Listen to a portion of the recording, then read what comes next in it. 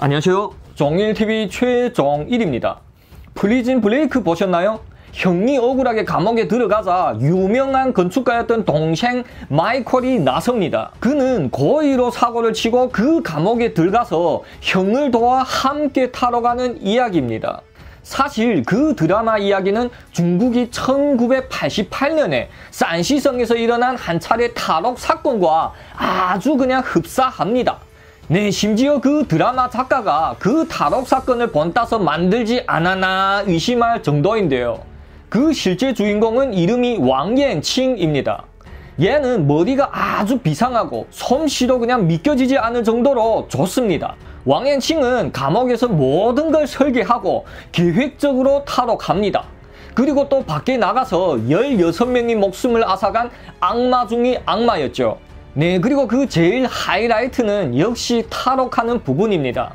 그러면 이 희대의 재간둥이 왕앤칭의 이야기를 지금부터 시작해 보겠습니다. 왕앤칭은 1959년에 태어났습니다. 그의 집안은 아주 그냥 평범하고도 평범한 공인 가족이었습니다. 이건 다른 범죄자들과 많이 다릅니다. 다른 범죄자들은 뭐 부모가 이혼했다든가 아니면 입에 풀칠할 것도 없어서 범행을 저질렀는데 얘는 아니었죠. 왕앤칭은 키 176에 하는 일은 백수였습니다. 얘 성격이 그랬대요. 누구 밑에서 일하기를 그냥 딱 질색했답니다. 하지만 그 시기엔 다 그냥 국유기업이고 개인 장사 같은 건 없었습니다. 나라에서 안배하는 국유기업에 들어가야만 했는데 이 처음에 출근하면 다들 그냥 직원으로부터 시작해야 했죠. 그러니 그런 게 너무나도 싫어서 15살부터 도둑질을 했었다고 합니다. 얘는 남다른 특징이 하나 있는데 바로 그냥 뭐나 자습하기를 잘했다고 합니다. 얘가 제일 처음에 자습한 거는 바로 무술이었다고 합니다. 근데 무술 그 혼자서 배울 수 있겠냐 라고 하실 텐데요. 그때는 다 그랬죠. TV도 없고 핸드폰도 없고 대부분 애들이 그냥 소설에서 읽은 그대로 연습하거든요. 또 소설에서 무술 사진들 나오면 그대로 그냥 따라하곤 했죠. 네, 이런 사진처럼 무술을 그림으로 배워주는 책들이 많았고 또 그걸 열심히 따라한 겁니다. 네, 예를 들면 이걸 짠짱이라고 하는데 모든 무술이 기본입니다. 이걸 한 시간을 해라면 몇 시간씩 하곤 했대요. 실제 왕년칭 사진을 보면 몸매가 엄청 탄탄해 보이죠.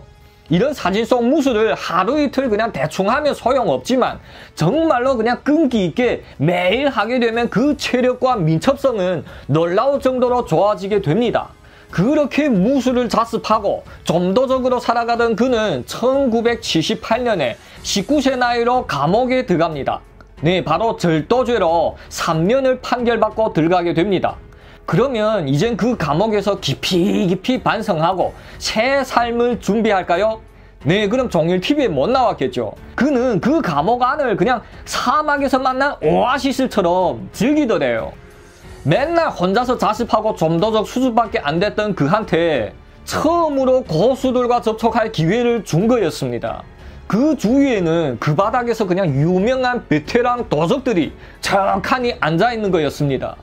소년 팬이 인기 데스타한테 다가가는 것처럼 왕앤치는 그냥 아주 공손하게 다가갑니다. 선생님, 전에 강화에서 선생님의 명상을 그냥 많이 들었습니다. 제발 한 수만 가르쳐 주세요. 그들은 이 나이도 어린 친구가 그냥 이토록 공손하게 나오니 이뻤겠죠. 하여 그한테 그냥 많은 기술들을 전수해 줍니다. 전에 제가 했던 스토리 중에 켄쉬랑 그냥 똑같죠. 잡도적이 큰 집 한 번 다녀오더니 베테랑 도둑놈으로 됩니다. 3년 뒤에 감옥에서 나온 왕앤칭은 배웠던 솜씨를 한번 부려보니 역시 잘 먹혔습니다. 네, 하지만 그 시대에는 보통 집에 돈이 없었죠. 다 그냥 가난했습니다. 연속 몇 명이 지갑을 털고 다른 집안도 털어보지만 쥐뿔도 없더랍니다. 아 이래면 아이 되는데 이대로 이런 거지들 그냥 100번 훔쳐도 거지 신세를 못 벗어나겠다 야 어디에 돈이 많지?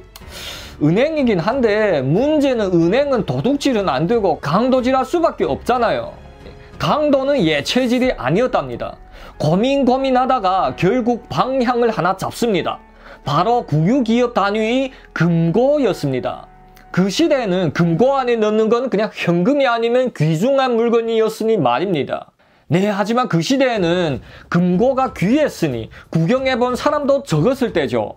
얘가 지금껏 해온 건 그냥 자물쇠를 여는 방법밖에 몰랐는데 그러면 어떻게 하면 금고를 열 수 있을까요? 배워야겠죠. 어디서요? 책에서요. 그때도 그렇고 지금도 그렇고 그런 걸 배워줄 수 있는 선생님도 없었겠죠. 그는 싼시성 도서관으로 쳐들어갑니다. 그리고는 책 속에 그냥 푹 빠져 있었답니다. 이 학교 다닐 때 맨날 그냥 잠만 자던 눈마가 금고를 연구하는 책 앞에서는 그냥 낮과 밤이 없이 그냥 밥 먹는 시간도 까먹은 채 빠져들었답니다. 하지만 중국어로 된 책에서는 다 찾을 수 없으니 외국어 책에서 찾기 시작했답니다. 외국어 개뿔도 모르는 얘가 가능하냐고요? 딱 하려는 마음만 있으면 어떤 일이든 해낼 수 있는 게 바로 인간이었죠. 얘는 영어 사전을 곁에 척 두고 그 모든 구절을 그냥 한 단어 한 단어씩 번역하며 배웠다고 합니다. 그리고 그 사진들을 통해 상상을 하며 배웠다고 합니다. 이 열정을 좋은 그냥 대학 입시에 노력했더라면 북경대학도 문제 없겠는데 말입니다. 이렇게 반년 동안 그냥 미친 듯이 노력한 결과 그는 외국 자료들에서 근거의 열쇠 구조를 장악하게 되었답니다. 아직은 정통한 단계는 아니고 핸드 드릴로 그 금고 자물쇠 중심에 구멍을 하나 뚫고는 얇은 쇠꼬챙이로 그 자물쇠를 안으로 여는 겁니다.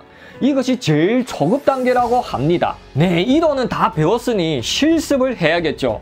그 시기엔 금고가 귀했고 엄청 비쌌으니 중고를 사서 연습할 수도 없었답니다. 그는 직접 현장에서 실습할 수밖에 없었답니다.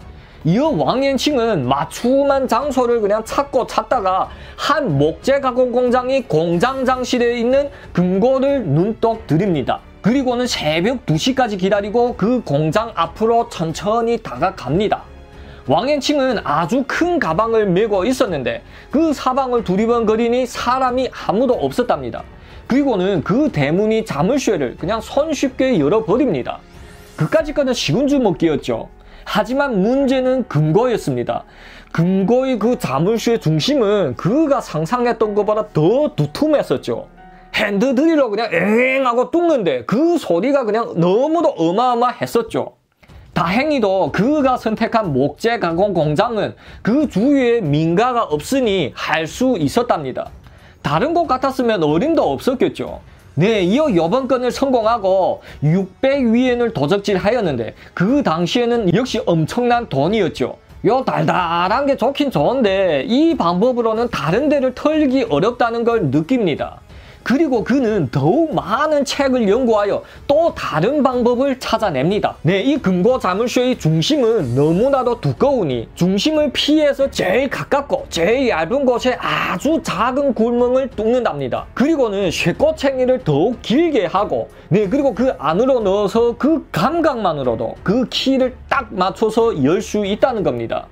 네, 그리고는 뭐 훔칠 거 다 훔치고 초강력 접착제로 그 작은 구멍을 그냥 살짝 메우면 이 밖에서 봐서는 알아보지도 못할 정도까지 됐답니다. 이런 기술을 장악한 사람은 그 시대엔 아마도 전 중국에 얘 혼자였을 겁니다. 그 상상을 초월하는 기술을 습득한 왕延칭은 그냥 막 날아다닙니다. 금고랑 금고는 그냥 다 그냥 쥐도 새도 모르게 열어 제끼니까 말이죠. 하지만 꼬리가 길면 잡히기 마련입니다. 얘는 금고 여는 기술은 최고였지만 정찰 능력은 별로였죠. 얘가 아홉 번째의 금고를 그냥 딱 열었을 때 갑자기 매복했던 경찰들이 후다닥 덮쳐듭니다. 때는 1982년 10월 22일이었습니다. 왕延칭은 그때 지 기술만 믿고 그냥 한 개 지역의 금고를 8개나 털었다고 합니다. 그러자 그 신고가 너무 잦아서 경찰들은 요 다음 타켓을 추측하여 매복해 있었다고 합니다. 하지만 말입니다. 얘를 판결하느라고 검찰원에 가둬놨는데 거기서 도망쳤다고 합니다. 그 자세한 내용은 범죄조사 기록부에 안 나와 있는데요. 보통 이렇게 안 나와 있는 건 검찰원에서 아주 사소한 실수를 저질러서 도망치는 경우가 많습니다. 뭐 화장실 간다고 도망치든가 아니면 운송 도중에 주의하지 않은 틈을 타서 도망치는가 뭐 그랬겠죠. 네, 뭐 이런 건 그닥 중요하지 않습니다. 얘는 그럼 그렇게 도망치고는 한동안 그냥 조용하게 지냈답니다. 하지만 그 금고를 딸 때의 그 짜릿한 손맛과 요 금고 아닌 물품을 확인할 때의 그 희열을 그냥 잊지 못했다고 합니다. 그리고는 맨날 손이 근질근질해 나는 그는 에이, 산시성이 위험하면 성도로 가자! 라고 생각하고 성도로 떠났답니다. 이어 성도로 도착한 그는 또 금고들을 그냥 딱딱 열면서 요 재미를 쏠쏠하게 보고 있는데 1983년 8월이 어느 날이었습니다. 그는 다른 날과 마찬가지로 요 성도 찐뉴 호텔이 사무실 앞에 섭니다. 네, 그리고는 자물쇠를 그냥 딱 하고 쉽게 열고 들어갑니다. 와, 이 금고 이거 신상인데? 때깔 봐라. 야, 장난 아니다, 야. 안에 또뭘 좋은 걸 넣었길래 이리 좋은 금고를 준비했을까? 왕앤칭은 저절로 그냥 웃음집이 흔들흔들해하며 습관대로 작은 구멍을 뚫습니다. 네, 하지만 역시 요 신상이라 그런지 이 쇠껍챙이로 자물쇠 중심 부분까지 가는 건 쉽지 않았죠. 한참 동안 이 낑낑대면 겨우 열었는데 갑자기 문이 팡 하고 열리더니 경찰들이 들어와 잡습니다. 이어 왕앤칭은 그렇게 힘들게 딴 금고를 그냥 확인도 못한 채 쇠고랑이를 찹니다. 네, 사실은 얘가 그 구멍을 딸 때부터 이 최신식 보안 시스템을 갖추고 있던 금고는 호텔 사장한테 이미 경보를 보낸 거였습니다. 그리고 이번에는 저번에처럼 운이 없었고 그대로 딱 잡혀서 산시성으로 수송됩니다. 네, 그리고는 재판을 받게 됐는데 얘는 시기를 참으로 잘못 만났습니다. 그 시기는 중국에서 아주 유명한 83년도 범죄와의 전쟁이었습니다. 사실 그런 범죄와의 전쟁이 많고도 많았지만 83년도의 거는 그 중에서 제일 강력했대요. 그 시기에는 1위엔을 도둑질하고도 총살 맞은 사람이 실제로 있었답니다. 왕앤칭 같은 죄는 100번 총살당해도 할 말이 없었죠. 이때의 왕앤칭의 마음은 어땠을까요? 그는 어떻게 이 고비를 넘기게 되었을까요? 2회에서 계속하겠습니다. 자 이제 안녕하세요. 종일TV 최종일입니다. 왕앤칭은 성도에서 작업하다가 요 최신식 도난 방지 금고를 몰라보고 그냥 깝치다가 잡혔습니다. 83년도 그 제일 엄격한 범죄와의 전쟁 시기였으며 또 전에 한 번 검찰원에서 도망쳤잖아요. 얘는 빼도 박도 못하는 총살이었습니다. 그런 그를 재판하기 전에 먼저 허시 감옥에 잡아뒀답니다. 이미 죽었다고 생각한 왕앤칭은 이 풀이 싹 죽어서 깜방에서 안내해준 호실에 들어가서 그냥 털썩 앉습니다. 에이, 그렇게 자신이 배운 재주를 마음껏 부려도 못 보고 이렇게 가는구나 라고 생각하니 그 마음은 엄청 심란했겠죠. 네, 하지만 이때 어이 누가 너 보고 여기 앉으래? 키가 180이 넘고 우람진 몸매를 가진 한 남자가 그를 향해 다가옵니다. 이 왕앤칭의 다리를 확 걷어차며 안 일어나? 라고 합니다. 왕앤칭은 그제야 멀뚱멀뚱해서 사방을 보니 이 허실에는 그를 포함해서 아홉 명이나 있었답니다. 이어 그는 어, 이 뚱땡이가 이 허실이 따요구나 라고 알아챕니다. 중국에선 감옥 안이 한 안이 짱을 따요라고 부릅니다. 큰 기름이란 뜻이죠. 뭐나 좋은 거 있으면 이 따요가 먼저 다 차지하고 심지어 옷도 밑에 애들이 다 빨아서 섬겼으며 얘 말 한마디면 그 감옥 안에서는 법이었죠. 네, 그리고 두 번째 등급은 중유라고 부르는데 중간 기름이란 뜻입니다. 중유는 한 명이 아니고 여러 명일 수 있으며 일정한 전투력이 있었으며 따유의 괴롭힘을 안 당합니다. 중유는 생활에서 독립하고 다른 사람한테 서빙도 안 하고 다른 사람들 보고 서빙해달라고도 못한답니다. 밥 먹을 때는 그나마 자신이 목숨 자신이 다 먹을 수 있었죠. 네, 그리고 세 번째이자 이 제일 최저 등급은 빵요입니다. 이건 땅바닥의 기름이란 뜻인데 보통 신입들이 전투력이 약하고 이 쥐뿔도 없는 애들이 됩니다. 빠유는 감옥 안에서 제일 더럽고 제일 힘든 일들을 도맡아 해야 했습니다. 그냥 너희처럼 따유를 모셔야 했고 그렇게 또 모시다가 겁나게 얻어맞는 겁니다. 네, 그리고는 지 밥그릇도 제대로 못 챙기고 먹을 만한 건 또 따유한테 섬겨야만 했죠. 네, 이러니까 감옥 안에서 그냥 따유 혼자서 배부르게 먹을 수 있고 다른 사람들은 맨날 배를 골아야만 했습니다. 전에 19살 때 감옥에 있었던 왕옌칭은 이 모든 걸 잘 알고 있었죠. 따유가 일어나라고 해서 일어나긴 했는데 언짢았죠. 에 어차피 총살당할 건데 뭐가 두렵겠나요? 왕옌칭은 따유를 째려봅니다. 어이 신입이 네 앉았다 일어나기 100개 실시! 따유가 말하자 왕의 칭은 콧방귀를 뀌며 내 아야무 님 어찌게 라고 대듭니다. 하지만 이때 따유가 손쓰기도 전에 곁에서 한 눈마가 그냥 불쑥 튀어나오며 왕의 칭을 향해 귀샤대기를 날립니다. 야, 니 죽고 싶니? 누구를 보고 지금 두둥아리를 함부로 널려?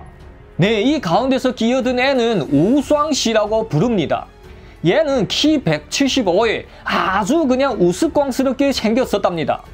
네, 하지만 실제 사진은 없고요. 얘가 또 나중에 활약이 좀 있으니 그 기록부에 적힌 묘사대로 찾은 가상 사진이 하나 있습니다. 이 사진과 조금 다른 점은 우수왕 씨는 이렇게 웃기게 생겼고 또 대머리라고 합니다. 이 위쪽은 대머리인데 요 머리 주위에만 몇 카락이 좀 있었답니다. 상상 가시죠? 얘는 누구일까요? 얘가 바로 이 호시리 빤유입니다.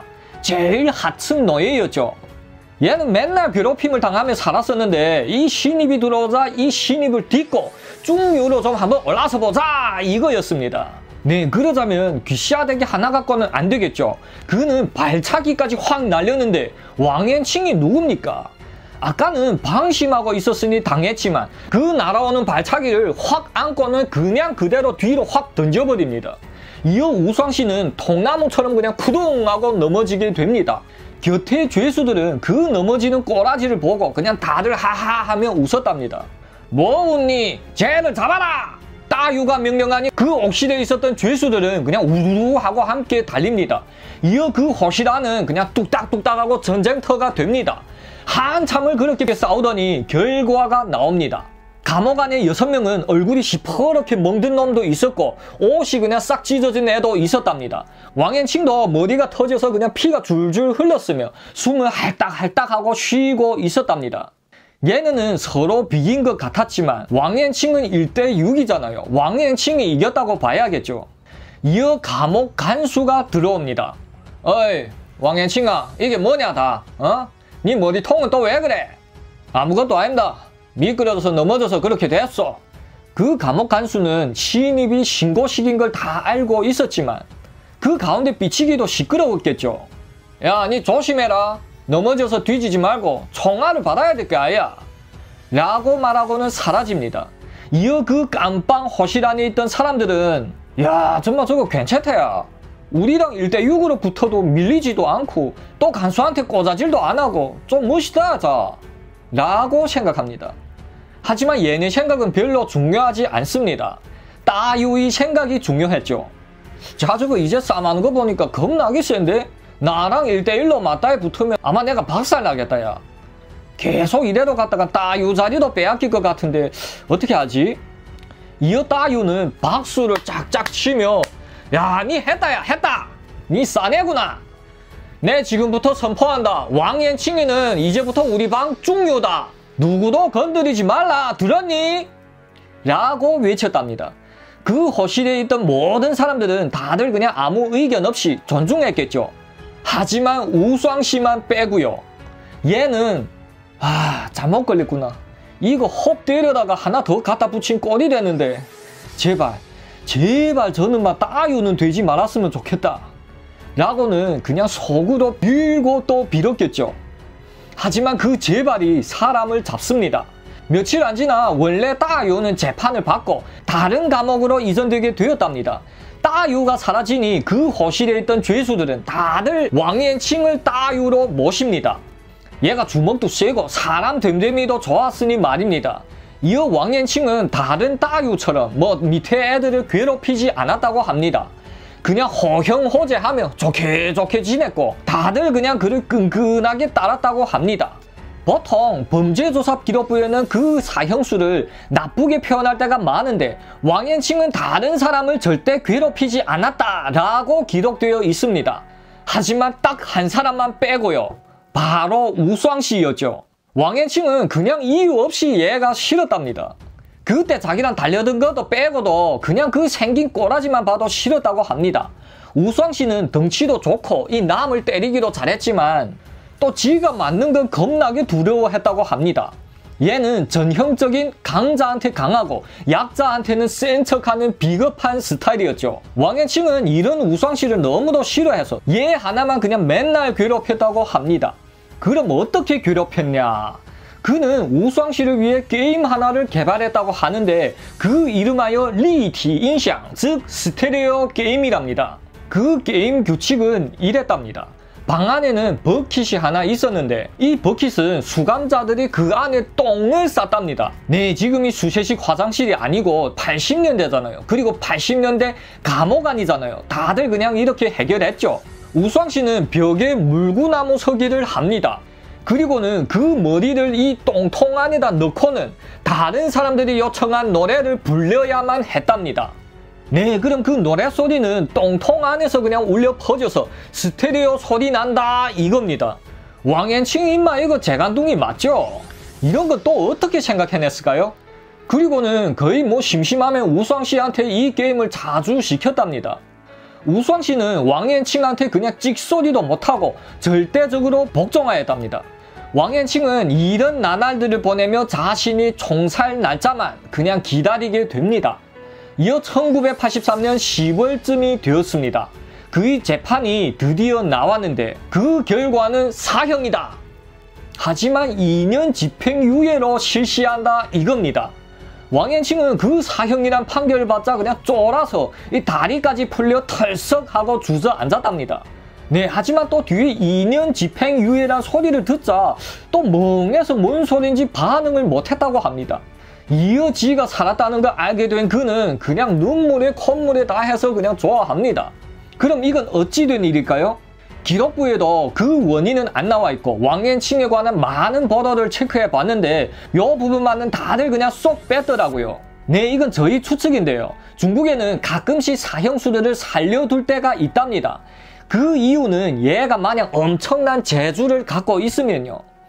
이 세상에 하나뿐인 제주 아니면 이 세상에서 제일 그냥 깔끔하게 자라는 사형수면 잠깐 살려둬서 나라에서 쓰려는 거였죠. 왕앤칭은 그 시대에는 유일하게 할 수 있는 금고 따기 고수잖아요. 네, 이걸 어떻게 잘 이용하여 나라에 도움을 주려는 거였습니다. 그 원인이 아니었다면 그 83년도의 범죄와의 전쟁에서 살아남는다는 걸 그냥 상상도 할 수 없을 정도입니다. 지옥이 낭떠러지에서 그냥 간발이 차이로 다시 살아온 왕앤칭은 흥분하여 그냥 3일 동안 잠을 자지 못했다고 합니다.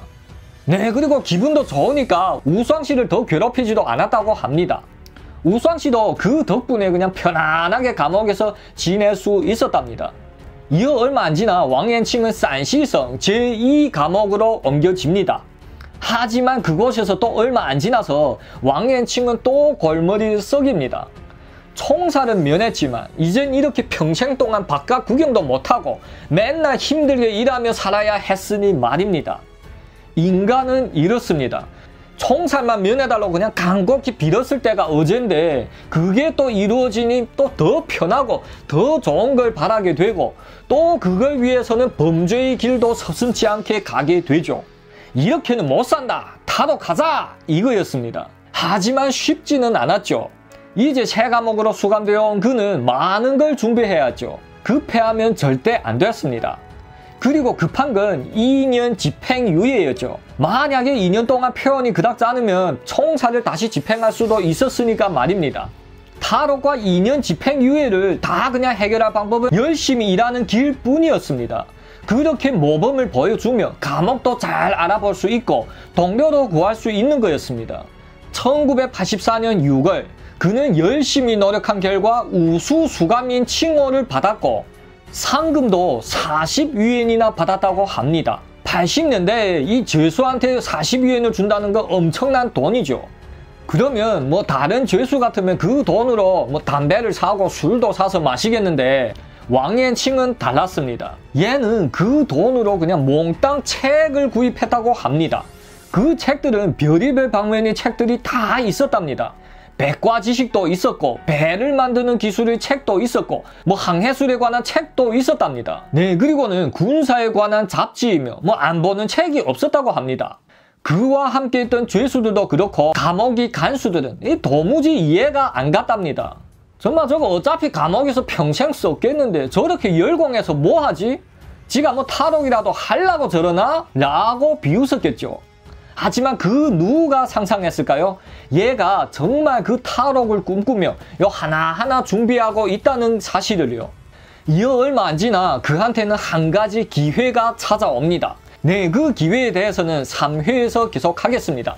자, 이제 안녕하세요. 종일TV 최종일입니다. 왕앤칭은 지금 새로운 감옥으로 이송되어 열심히 적응하느라고 노력하는 중이었는데 그한테 드디어 좋은 기회가 다가옵니다. 네, 그 기회는 이러했습니다.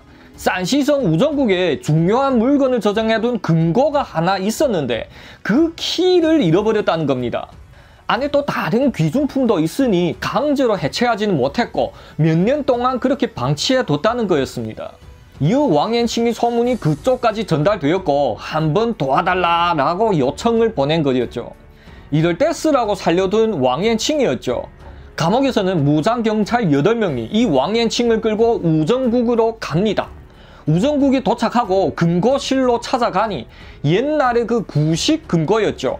왕앤칭은 피식 웃고는 그 금고의 우측에 제일 얇은 쪽을 확인하고 요 드릴로 작은 구멍을 하나 뚫습니다.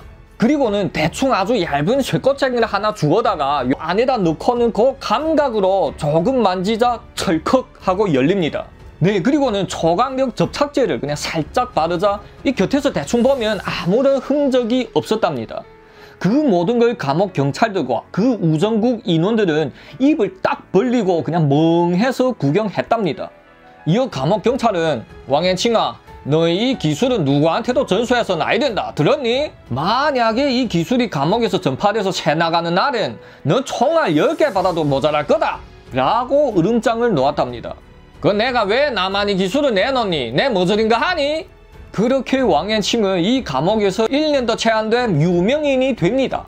주먹으로도 그 누구도 당할 자가 없었고 어디 가나 인정해주는 따유였죠. 기술 또한 죽이잖아요. 금고 따기뿐만 아니라 또 다른 기술들도 그냥 아주 기가 막힙니다. 이제 천천히 다 나오게 됩니다.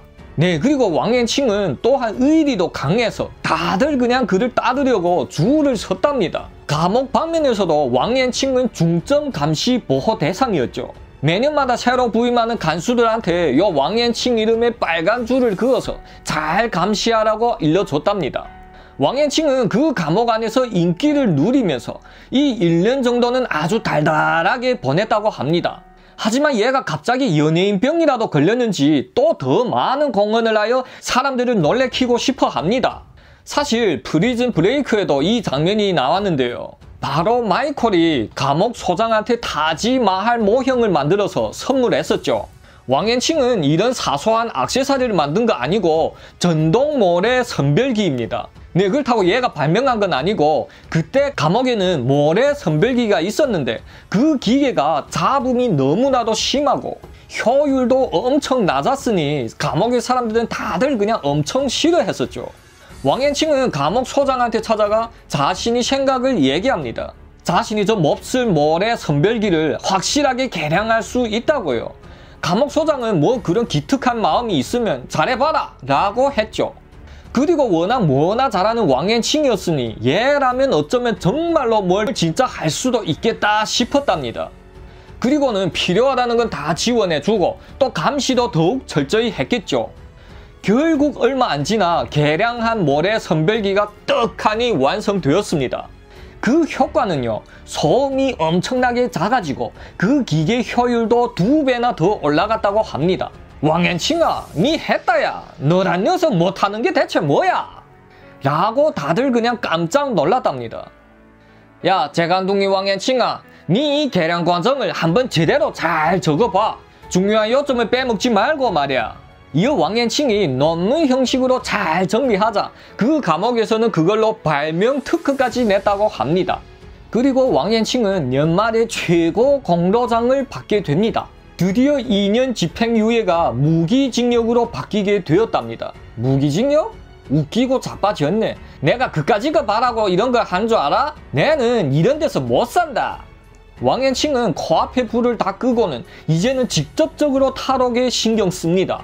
그때의 왕앤칭은 이러했답니다. 그 활약으로 전 감옥 안이 두목으로 됩니다.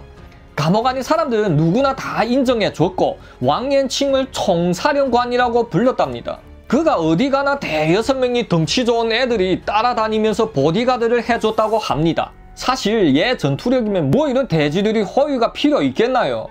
그냥 멋으로 끌고 다니는 거죠. 생활상에서도 왕년칭은 편안했습니다. 전문적으로 왕년칭한테 밥을 날라주는 사람이 있었고 또 옷을 깔끔하게 빨래해주는 사람도 있었답니다. 심지어는 보모에 또 전문 안마사까지 있었답니다. 물론 다들 남자들이었지만 말이죠. 이쯤 하면 궁녀들이 없다 뿐이지 황제 아닙니까? 그의 세력이 그렇게 강해지자 많은 죄수들은 그냥 왕앤칭 밑에 못 들어가서 안달났답니다. 그 중에는 왕주라는 놈도 있었습니다. 그는 맨날 다른 죄수들을 보면 왕앤칭 팬이라고 그냥 떠들고 다녔답니다. 이어 그 소식은 왕앤칭 귀에도 들어갔고 그래? 한번 불러봐. 어디 한번 어떤 녀석인지 한번 보자. 왕앤칭은 왕주를 불러서 한번 보니 별로 잘하는 건 없었는데 주둥아리는 잘 놀리는 것 같았다고 합니다. 그래, 너 나의 보모질 해라. 이어 왕주도 왕앤칭이 옷빨래를 하고 이 청소를 해주는 보모 일을 합니다. 그럼 보모질하면 월급이 있냐고요? 없습니다. 월급은 없는데 좋은 점은 많았죠. 두목이 최측근이니 누가 감히 그를 건드리겠나요? 그리고는 가끔씩 왕앤칭이 입맛이 없으면 그한테 바쳐온 음식들을 먹을 수도 있었죠. 왕앤칭은 감옥 안이 지 세상이었지만 걔 마음은 바깥 세상에 있었습니다. 자나깨나 탈옥 생각뿐이었죠. 탈옥하려면 혼자서는 못한다는 걸 잘 알고 있었습니다. 그한테 필요한 탈옥 파트너는 머리가 빨리 돌아가고 이 충성도가 높은 사람이었습니다. 바로 왕주 같은 애였습니다. 그리고 이놈도 왕사령관 옆에서 맨날 한탄했다고 합니다. 얘가 전에 밖에서 조그마한 물건을 도둑질했는데 무기징역을 판결받았다고 한탄하는 거였죠. 그래? 그러면 그러면 나랑 함께 탈옥이라도 할래? 그때 왕옌칭은 왕주의 눈치를 봤는데 왕주는 그냥 완전 눈에서 빛이 반짝하고 빛났다고 합니다. 대사령관님, 만약 그런 기회를 준다면 나가서 제가 소가 되든 말이 되든 대사령관 말이면 그냥 다 듣겠습니다. 왕옌칭은 그 말을 듣고 씩 웃으면서 그냥 머리를 끄덕여 줬다고 합니다. 왕주는 알았죠. 큰형님이 절대 큰 소리 칠 사람이 아니란 걸 말입니다. 또 그러던 어느 날이었습니다. 왕주가 지금 한창 작업을 하고 있는데 왕년칭이 뒤로 쓱 다가와서는 쿡쿡 찌릅니다. 그리고는 따라오라는 거였죠. 왕년칭은 왕주를 데리고 이 북쪽으로 오솔길을 구불구불하고 가더니 니신 작업장이란 곳에 도착합니다. 그 작업장들은 엄청 큰 건물들로 구성되어 있었으며 한 노인이 관리하고 있었답니다. 그 노인은 사령관이 오자 그냥 벌떡 일어서서 눈웃음을 날립니다. 그 수고하오. 안 써, 안 써? 아, 저 들어가 쉬나 써야겠다. 왕앤칭은 이어 아무 말 없이 작업장에 들어갔고 노인은 아무 말 못합니다. 원래 이곳은 모든 죄수들은 출입 금지였죠. 하지만 그 둘은 들어가서 이 나란히 서서 쉬를 쌉니다. 왕앤칭은 그런 왕주를 다리를 툭 치고는 이 눈짓을 보냅니다. 그리고 그가 눈치를 보낸 곳에는 엄청나게 큰 난방 화로가 있었답니다. 중국은 집단 낭방을 하니 그 큰 감옥은 하나의 아주 큰 화로로 불을 지펴 물을 끓여서 수송하는 겁니다. 상상 가시죠? 하지만 그 크나큰 화로는 너무도 낡아서 그곳에 버려져서 방치되어 있던 상태였습니다. 그 화로 안에 들어가서 밑바닥을 뚫고 땅굴을 파서 나간다 이거였습니다. 눈치 백단이 왕주는 그걸 보자 그냥 금방 알아차리죠. 그 위치 또한 감옥 제일 북쪽이 담장과 붙어 있으니 제일 가깝고 제일 적합했죠. 그리고는 그 둘은 방으로 돌아갑니다. 뭐 파고 싶으면 직접 팔 수가 있는 게 아니었죠. 모든 건 다 계획이 필요했고 요 하나하나 진행해야만 했습니다. 그럼 뭐가 제일 먼저 필요했을까요? 바로 그 지키고 있던 노인이었습니다. 네, 그 노인 수감자를 얘네 쪽으로 끌어들여야만 했죠. 그리고 이 일은 왕주한테 맡겼답니다. 얘는 눈치도 빠르고 요 해시시 하고 웃으며 다른 사람들과 접촉도 잘했으니까 말이죠. 야 네가 가서 먼저 저 노인네 잘 좀 한번 알아봐 하고는 자신은 다른 한 가지 일을 처리합니다. 왕앤칭한테 주어진 또 다른 일은 이러했습니다. 이 감옥에 밀링 머신을 조종하던 사람이 석방됐는데 모든 감옥의 사람들은 그걸 다룰 줄 아는 사람이 하나도 없다 이겁니다. 왕앤칭 보고 그 밀링 머신을 조종하는 걸 도와달라는 거였죠. 왕앤칭은 이 가는 게 있으면 또 나중에 오는 것도 있을 거라고 알고는 흔쾌히 오케이 합니다. 그럼 얘는 전에 할 줄 알았던 걸까요? 아닙니다. 제가 이 밀린 머신에 대해 알아봤는데요. 만약 아무도 모르는 왕초보가 이 배워주는 선생님이 있는 조건에서 그걸 숙련되게 배우는데 거의 몇 개월이나 되는 시간이 걸린다고 합니다.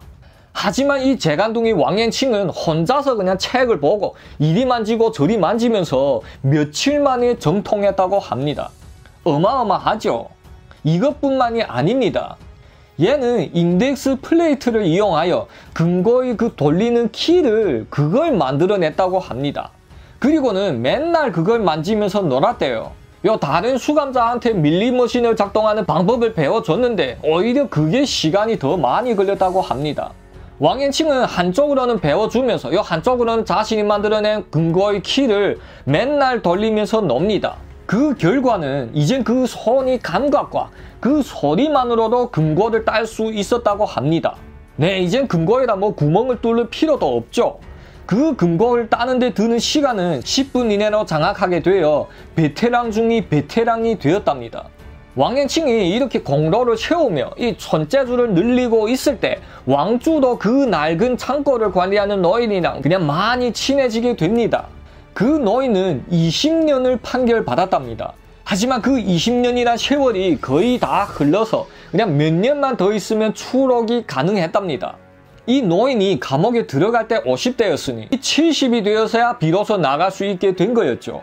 그러면 이 노인은 함께 타러 가는 데는 당연히 관심이 없었겠죠. 네, 하지만 그한테도 요 뚫을 수 있는 한 구석이 있었답니다. 바로 이 노인은 요 사소한 걸 자꾸 처먹는 걸 그냥 엄청 좋아했다는 겁니다. 왕앤칭은 밑에 애들이 자신한테 바치는 담배를 모두 그 노인한테 주었고 왕주는 자기 담배도 남겨주느라고 담배를 아예 끊었답니다.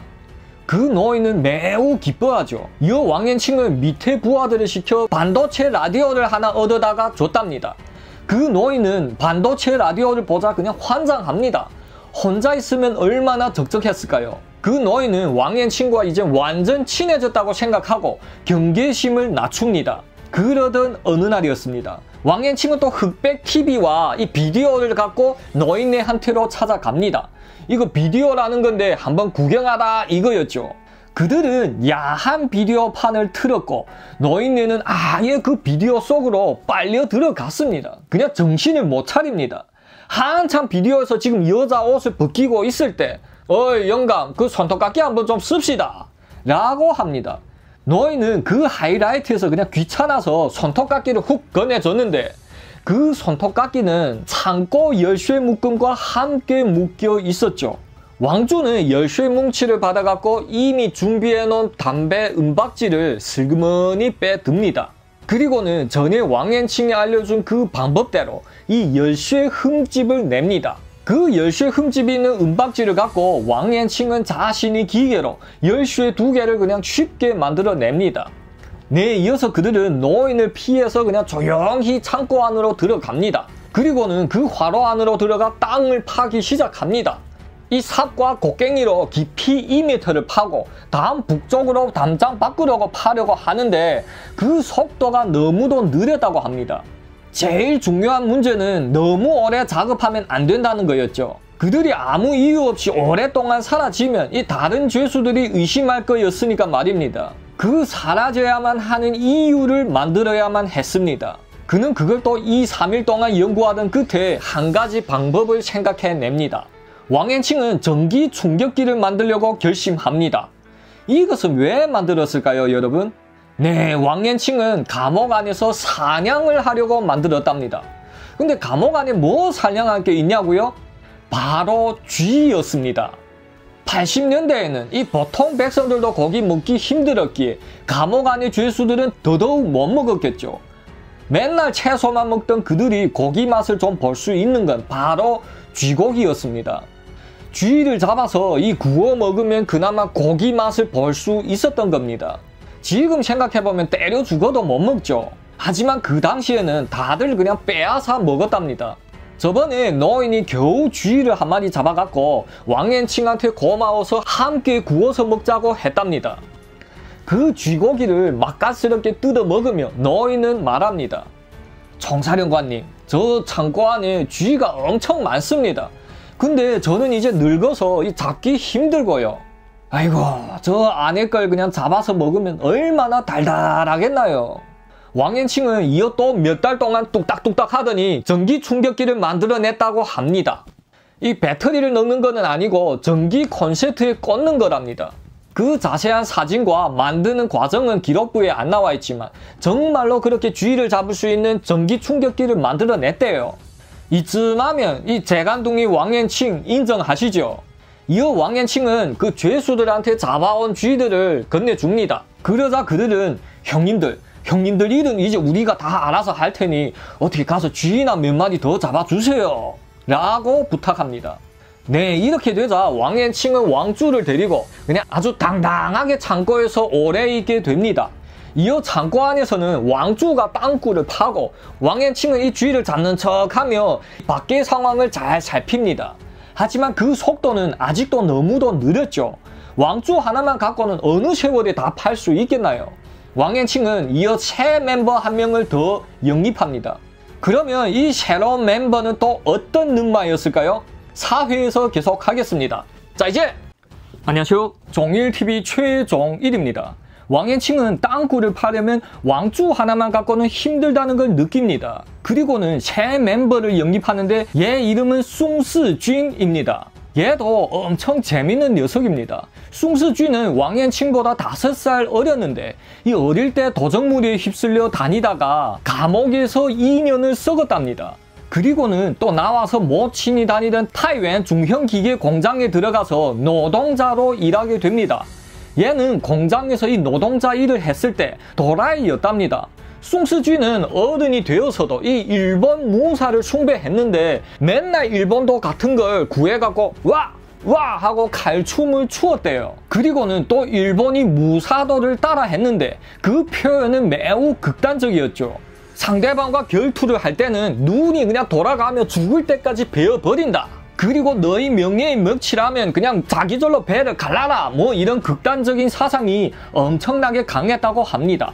아니 이런 거는 어린 애들이나 장난으로 좀 할 수 있겠지만 얘는 다 큰 어른이 되어서도 아직도 푹 빠져 있답니다. 네 어느 정도 빠졌냐면요. 하루는 또 그 일본도를 갖고는 와! 와! 하며 연습합니다. 그날은 더더욱 심취해 있었는데 한 남자가 그걸 보며 지나갑니다. 자, 저는 막 저거 희한한 놈이네 하며 잠깐 그를 지켜봤다고 합니다. 하지만 이때 이미 극도로 흥분한 숭스쥐는 와! 와! 하며 칼춤을 추다가 그 남자를 보고는 그냥 확 베었다고 합니다. 그 남자는 그렇게 멍해서 구경하다가 칼을 맞고 하마터면 죽을 뻔했다고 합니다. 어이가 없죠? 이런 드라마에서도 어이가 없어서 안 쓰는 장면이 이렇게 실제로 일어납니다. 그렇게 중상을 입히고는 경찰에 잡혀갖고 무기징역을 받게 되었답니다. 감옥으로 들어간 순수쥐는 감옥에서도 맨날 나뭇가지를 들고 와와 하고 생쇼를 하더니 왕앤칭을 보게 됩니다. 이어 그는 야, 이 왕앤칭이야말로 진정한 무사라고 생각하고 매우 숭배하게 되었답니다. 이런 놈들은 한 사람을 숭배하기 시작하면 또 거기에 그냥 환장합니다. 그러니 그 충성을 높게 사서 합류시킨 거였죠. 이어 1988년 3월부터 그들 셋은 땅굴을 파기 시작합니다. 왕앤칭은 역시 전기 충격기로 이 쥐를 잡고 있었으며 이 밖의 상황을 잘 살핍니다. 만약 사람이 오면 신호를 보내 땅굴 파는 걸 정지시키죠. 숭스쥐는 땅굴 안에서 흙을 파 헤치는 걸 도맡았고 왕주는 그 흙을 밖으로 이송합니다. 땅굴 파는 작업 시간만 빼고 그들은 매우 조용하게 지냅니다. 맨날 나무 꼬챙이를 잡고 칼춤을 추던 숭스쥔도 이제는 얌전하게 앉아 있습니다. 그렇게 두 달이나 열심히 땅굴을 판 결과 깊이 2m이고 그 길이가 무려 15m나 되는 땅굴이 완성되었습니다. 하지만 그들은 아직 떠나지 않았다고 합니다. 입구를 잘 은폐한 다음에 이 때를 기다리는 거죠. 왕延칭은 급하지 않았죠. 모든 걸 더 확실하게, 더 완벽하게 준비해 놓은 다음에야 떠나려고 마음 먹죠.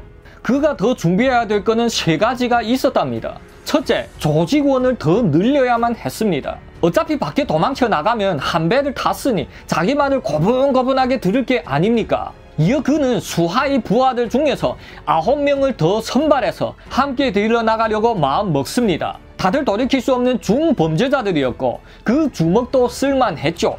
그 중에서 우리는 한 사람을 잘 알 필요가 있습니다. 얘 이름은 짱더라고 불렀는데 얘는 숭즈쥔보다 아주 더한 또라입니다. 얘는 18살의 타이웨니 대중기계 공장에 이 노동자로 들어갑니다. 하지만 해라는 일은 안 하고 맨날 공장의 부품들을 이 도둑질하여 밖에서 팔아먹었다고 합니다. 하지만 꼬리가 길면 잡히기 마련이죠. 한 번은 공장 간부가 그것을 딱 목격하고는 야 짱더야 너희 막그 공장의 부품을 갖다 팔아먹니? 네 인간이가 하고 한마디 했답니다. 그러자 짱더는 막 달려와서 그냥 귀샤대기를 하나 날리고는 또 발차기를 막 날렸답니다. 그리고는 그 뒤부터 누가 그냥 한마디만 하면 주먹부터 날아갔는데 경찰에서 안 잡냐고요? 7, 80년대에는 주먹 싸움은 불법이 아니었습니다. 얘는 여자도 가만 놔두지 않았답니다. 한 번은 또 심심하고 또 꼴렸는데 한 새파란 신인이 들어왔다고 합니다. 네, 이제 금방 학교를 나온 아주 아리따운 여자였죠. 하지만 또 지주제를 생각하니 어차피 직접 그려도 거절당할 거라는 걸 잘 알게 되자 이 짱 더 또라이는 또 현실이 빡쳤답니다. 어차피 내 거 아니면 흠집이라도 내야지. 짱 더는 그 여자한테로 조용히 다가갑니다. 네, 이때는 점심시간이 금방 끝나고 이 노동자들이 다 한자리에서 수다를 떨었을 때였죠. 짱더는 그 여자 뒤로 살며시 다가가서 글쎄 바지를 확 벗겼다고 합니다. 그 바지는 벗겨지면서 팬티까지 함께 내려갔고 여자는 깍 하고 소리지며 앉았는데 이미 늦었죠. 그 공장의 하이에나들은 이미 볼거다 보게 되고 이 침을 꿀꺽 삼키더랍니다. 그 행동은 이 공장에서 그 누구도 뭐라고 하지 못했답니다. 얘는 이어 여기서 재미를 느끼고는 이 심심하면 다른 여자 동료의 가슴에다 손을 넣어서 브라자를 확 낚아챘다고 합니다. 하지만 더 큰 뭐 강간 같은 거는 안 하고 그냥 이렇게 사소한 변태 짓을 계속 해 나갔답니다. 그러다가 1983년 범죄와의 전쟁이 되었죠. 1위에는 도둑질해도 운수가 안 좋으면 총살 맞았을 때였습니다. 짱더는 지가 잡혀 들어가면 이 10종 8구는 총알을 먹어야 된다는 걸 느끼고는 또 미친 짓을 합니다. 그는 자신이 몸에 폭약을 설치하고 라이터를 들고 막 쏴돌아 다닙니다. 니들 잘 들어라. 만약 나를 신고하면 내 혼자는 못 죽는다. 니네는 함께 저 세상으로 갈 거다. 라고 외치며 다녔답니다. 이건 뭐 상또라이 중에 상상또라이였죠. 그뿐만이 아니랍니다. 이틀 동안 그렇게 쭉 다니며 겁을 주고는 또 짐을 챙기고 산으로 갔다고 합니다. 그는 산에서 피신하여 2개월 동안 자연인으로 살아갔는데 그 뒤에는 더 이상은 버티기 힘들었답니다. 이 생활용품도 다 떨어졌고 곧 겨울이 다가오면 이 동굴 안에서 얼어 죽을 것만 같았답니다. 하지만 바깥 세상은 지금 어떻게 돌아가는지도 모르잖아요. 한참을 고민하던 끝에 그는 한 가지 방법을 생각해내게 됩니다. 그는 백지장의 그림을 그렸답니다. 삼각형도 그리고 정방형도 그렸죠. 그리고는 그 가운데다가 바늘 넣어서 요 구멍을 하나 뚫습니다. 이어 가까운 지인을 통해 개를 보고 외지에 가서 자신의 집으로 우편으로 보내달라고 합니다. 요 뒤쪽에서는 아주 총명하게 한 것 같아 보였지만 얘가 상상 못한 게 하나 있었습니다. 개 부모들이 과연 그걸 알아볼 수 있을까 였습니다. 아니나 다를까 그 부모는 온 하루 그냥 올리보고 내리봐도 그것이 무엇인지 몰랐다고 합니다. 누가 보냈는지도 몰랐죠. 괜히 또 걱정이 된 노부부는 그 편지를 경찰서에 갖다가 바쳤다고 합니다. 그 암호로 가득한 편지는 경찰들 손에 들어가자 효과는 달랐죠. 경찰들이 그 지도를 자세히 관찰하니 그들이 눈에는 딱 보였죠. 이것은 지도인데 이 위치는 산시성의 한 산속이고 요 바늘자리가 이 녀석이 있는 곳이구나 라는 걸 알았습니다. 이어 경찰들은 즉시 출동하여 짱더를 잡았다고 합니다. 참 재밌는 친구죠. 아니 자신이 힘들게 창작해낸 지도 때문에 경찰들한테 잡히는 꼴이 됐으니까요. 이어 그도 사형 집행유예로 판결받고 하마터면 총알을 먹을 뻔했답니다. 얘도 운수가 겁나게 좋은 거였습니다. 이 83년도 범죄와의 전쟁에서 이 목숨을 유지할 수 있었으니까 말이죠. 왕앤칭은 지인은 멀쩡해갖고 왜 무사도 숭즈 주인이랑 또 이런 변태 상도라이 짱드와 같은 애들을 데리고 다녔을까요? 하긴 뭐 감옥 안에 멀쩡한 사람들이 어디 있겠나요? 이런 놈들 9명을 모아서 두 번째로 해야 할 일은 바로 체력 단련입니다. 그들은 한 창고에다가 헬스장을 만들었답니다. 큰 주머니 두 개에다가 이 모래를 가득 넣고 가운데다가 대나무를 끼고 벤치 프레스도 하고 팔굽혀기도 하고 그랬대요. 그리고는 왕앤칭이 자신이 무술도 좀 배워줬죠. 체력 단련도 해야겠지만 또 제일 중요한 거가 하나 있었습니다. 왕앤칭은 그때까지 운전이 안 됐죠. 나중에 타러 가게 되면 무조건 필요하다고 생각하고 운전을 배우려고 합니다. 하지만 죄수가 운전을 어떻게 배우냐고요? 얘가 전에 감옥에 도와준 게 많았잖아요. 그러니까 이번엔 좀 나를 도와서 이 운전을 배워달라고 합니다. 감옥 측에서는 그 운전대를 한번 만져보고 싶은 마음을 잘 알았기에 이 전에 공로로 봐서 배워주게 됩니다. 감옥에서는 제일 큰 트럭을 파견하여 이 간수가 직접 왕앤칭한테 운전을 배워줬다고 합니다. 이 타러 가려는 사람한테 밖에서 돌아다닐 때 도움을 주려고 배워준 꼴이 되어버린 겁니다. 그렇게 또 몇 번 배우자 또 숙련되게 배우게 됩니다. 이어 제일 중요한 건 마지막 절차가 남았습니다. 그 어떤 범죄자들도 이렇게까지 예리하지 못했습니다. 이 스토리는 영화나 드라마에서도 이 상상도 못하는 장면이었죠. 하지만 또 실제 발생한 사건입니다. 그 실제 사실은 이러했습니다. 왕앤칭은 숭즈쥔과 짱더를 먼저 땅굴 안에 숨어 있으라고 합니다. 그리고는 그 입구를 잘 덮어놓고 이 왕앤칭은 그 창고 위에 꿀뚝 위에 숨어 있습니다. 얘는 여기서 뭘 지켜보는 걸까요? 네, 이 왕주는 감옥 간수들한테 보고합니다. 보고 왕앤칭과 숭즈쥔 짱더 세 명이 안 보입니다. 타로 간 것 같습니다.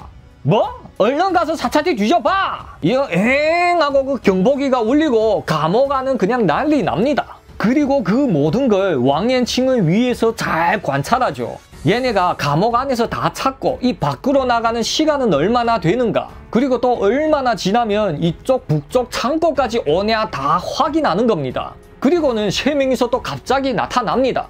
뭐야? 뭔 일 있어? 감옥 간수들은 그들을 보고 그냥 한숨을 내쉽니다. 에이 그러면 그렇지. 탈옥해도 다른 놈들이 탈옥하겠지. 여기서 황제처럼 잘 나가는 네가 왜 탈옥하겠니? 왕주 그놈만 그 벌을 단단히 줘야겠네. 네 그리고는 첫 번째 실험은 이렇게 성공하였습니다. 왕앤칭은 이번 실험으로 대충 그냥 자신들한테 주어진 시간과 그 주의사항들을 한번 체크했습니다. 하지만 한 번으로는 부족하죠 두 번째로 해야 그 평균 시간을 제대로 확인할 수 있고 또 그 도망치는 시간도 확실하게 결정할 수 있었죠. 이번에는 왕앤칭이 혼자서 숨습니다. 그리고는 신고하죠. 보고 왕앤칭이 또 안 보입니다. 뭐?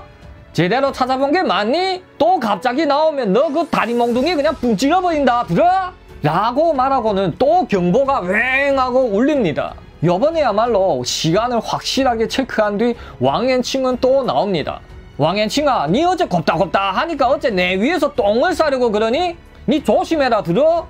그렇게 두 번째 실험도 끝나고 얘는 또 한 차례 사라집니다. 네, 이젠 얘네를 왕앤칭이 사라지는 데 대해서 그냥 반응을 무뎌지게 하기 위해서였죠. 그리고는 그 시간을 좀 더 벌어보자 이거였습니다. 네, 세 번째는 그 숨어있는 시간을 많이 더 늘렸답니다. 이 오금을 좀 더 태우고 또 흔들흔들하면 나옵니다. 왕앤칭을 본 간수장은 그냥 또 아주 그냥 별의별 쌍욕을 다 해댑니다. 어이 간수장씨 맨날 감옥에 출근해서도 할 일이 없잖아. 여러 스릴 넘치는 게임 좋잖아. 그 스릴 좋아하고 자빠지었네. 내 너를 책임지고 옥살이를 더 시켜줄 거다. 네 하지만 뭐 금방 나갈 몸인데 그게 신경 쓰이겠나요? 이어 모든 준비를 끝낸 그들은 드디어 탈옥을 합니다. 네, 그 탈옥은 5회에서 계속 하겠습니다. 자, 이제 안녕하세요. 종일TV 최종일입니다. 왕앤칭은 세 번의 실험을 통해 만약에 도망쳤을 때 이 간수들의 반응을 한번 체크해 봅니다. 그리고는 모든 준비가 다 되었음을 느끼고는 드디어 물건들을 챙깁니다. 그는 전에 조용하게 요 자체로 제작한 비수를 챙기고 밧줄과 라면 등을 챙겼답니다. 네? 88년에 라면이요? 사실 중국의 라면이 제일 처음 나올 때는 80년대가 맞답니다. 아마 밑에 죄수들이 그 가족들이 전해준 라면을 오야붕 왕延칭한테 바친 걸로 보입니다. 범죄조사 기록부에는 확실히 라면까지 챙겼다고 적혀져 있습니다. 네, 물건들도 다 준비하고 왕延칭은 12명의 죄수들을 모두 불러 모아서 마지막 회의를 합니다. 얘들아, 이번에 우리가 나가면 한번 크게 한번 좀 살아보자! 그 어차피 가는 인생 떵떵거리며 살라면 나가서 우리 사람도 죽여야 되겠는데 니네 다들 마음 준비 단단히 해라! 네, 이 말을 듣고는 살짝 당황한 것처럼 보였던 왕주는 사령관님, 우리 12명이 한 번에 이렇게 다 나가면 그 소리가 너무도 커서 일이 잘못될 가능성도 있겠네요. 이렇게 하면 어떨까요? 사령관님이 처음에 몇 명을 데리고 나가고 제가 두 번째로 나머지 애들을 데리고 나갈게요. 왕延칭은 조금 생각해보더니 그래 네 말도 도리가 있구나. 그러면 짱더와 숭즈준이 먼저 나랑 나가자. 그리고 우리가 밖에서 트럭 하나 빼앗아 와서 니네들 데리러 올게. 만약 우리가 도착하면 이 빨간색 손수건에다 돌멩이를 싸서 창고 쪽으로 버리마. 그걸 보고 나와. 라고 약속하게 되지만 사실 이 약속은 그 누구도 지킨 사람도 없거니와 기대도 하지 않았다고 합니다. 왕주는 살인까지 하며 지내야 한다는 소리를 듣고는 버럭 겁을 먹었던 그였습니다. 그냥 밖에 나가면 다들 그냥 자유를 찾고 이렇게 각자 흩어져서 집으로 가는 줄만 알았죠. 그 짧은 시간 내에 이런 장꾀를 생각해낸 걸 보면 역시 얘는 머리가 좋았죠.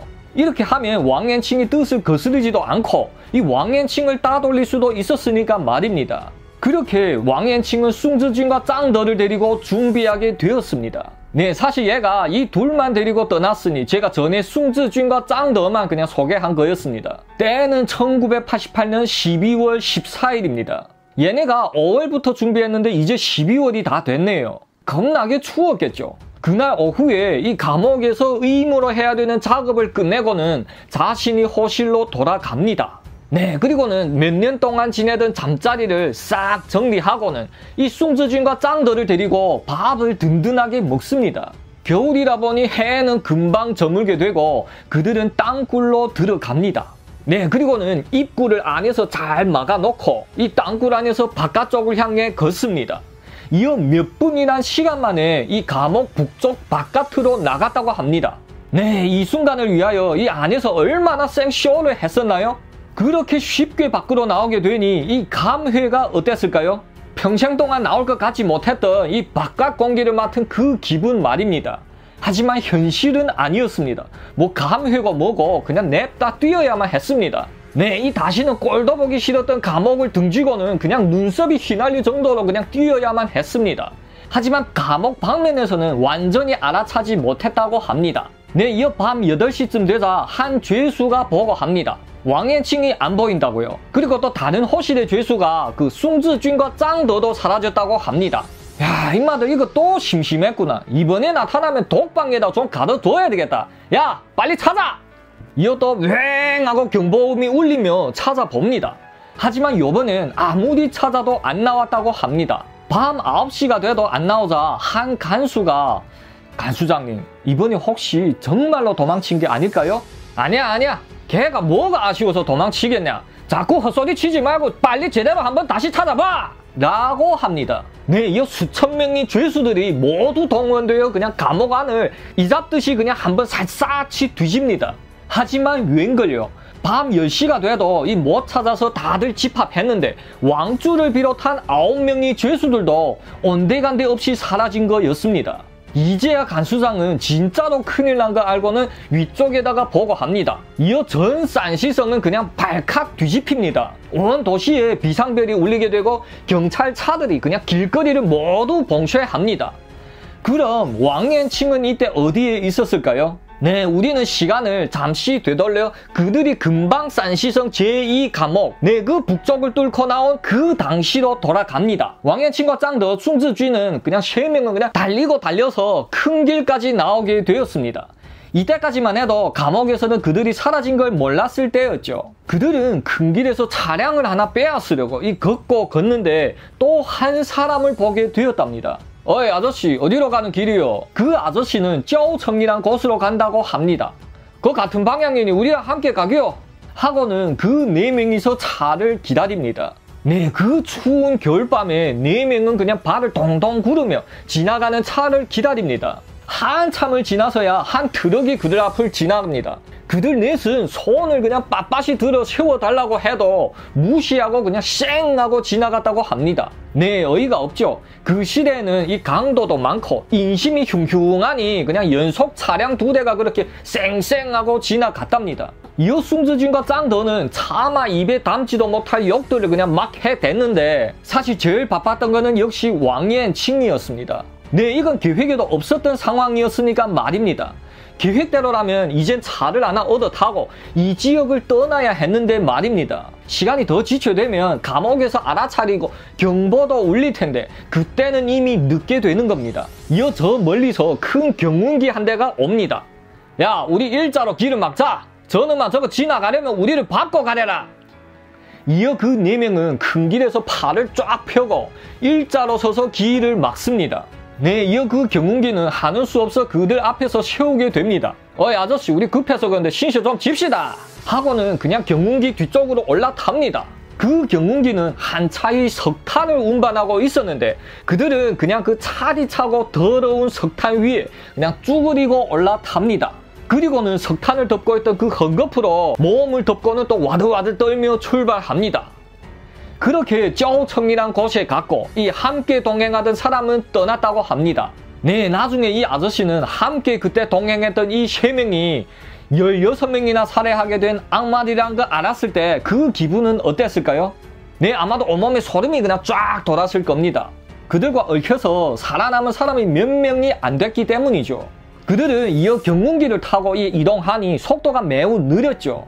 얼마 못 가서 시간이 거의 되었음을 느끼고는 경운기에서 내려서 구저산이란 그 산속으로 올라갑니다. 네, 그들이 막 미친 듯이 오르고 있을 때 삐버 삐버 하는 경보음과 함께 그냥 수십 대의 경찰차들이 그들이 발밑으로 그냥 쫙 지나가는 걸 목격합니다. 시간을 계산한 게 정말로 그냥 딱 맞아 떨어졌죠. 한 발자국만 늦었어도 아마 지금쯤엔 잡혔겠죠. 그들은 그 산속에서 자연 동굴을 하나 발견하고 자리를 잡습니다. 네, 그 동굴 안은 사냥꾼이 있었던 동굴이었던지 이 부를 지필 수 있는 곳도 있었고 이 감자도 있었답니다. 그렇게 그들은 탈옥한 뒤 첫 끼니를 이 동굴 안에서 감자를 구워 먹었다고 합니다. 그리고는 이 중국인들은 차가 없으면 안 됐죠. 이 준비해온 냄비에다가 물을 끓이고 차를 끓여서 마셨답니다. 그리고는 한 사람이 보초를 서고 다른 두 사람은 잠을 자고 네, 또 감자를 다 먹고 라면까지 끓여 먹으며 3일을 버텼다고 합니다. 그렇게 3일이 지나자 그들은 짐을 싸고 산에서 내려옵니다. 그리고는 왕앤칭이 전에 계획해놨던 타이시 중형기계 전문 학원 쪽으로 갑니다. 왕앤칭이 전에 이쪽에서 도둑질한 적이 있었으니 이 부분을 잘 알았던 겁니다. 겨울에는 사람이 안 사는 빈 집들이 많다는 걸 잘 알고 있었죠. 왕앤칭은 다른 두 명을 이끌고 그 빈 집들을 하나하나 뒤지기 시작합니다. 네, 보통 어떤 집들에서는 그 지하 땅굴에 배추를 보관하고 있다는 걸 알고는 그 배추들을 한대 모읍니다. 왕앤칭이 전에 세웠던 계획은 이곳에서 배추들을 끓여 먹으면서 이 보름 정도를 더 버티는 거였습니다. 한 보름 정도 지나면 이 경찰들 시선이 또 다른 곳으로 옮겨진 다음에 그 다음에 도망치려고 계획했었던 거죠.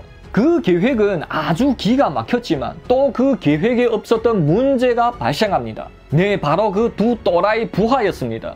맨날 생배추를 끓여서 먹으니 더 이상은 못 먹겠다는 거였습니다. 변태 또라이 짱더가 더했죠.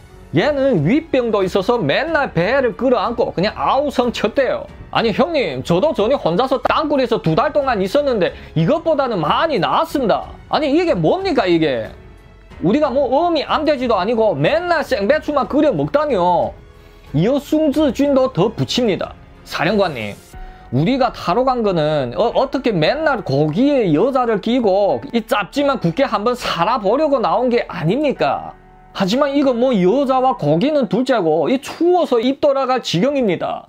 라고 그냥 엄살을 부립니다.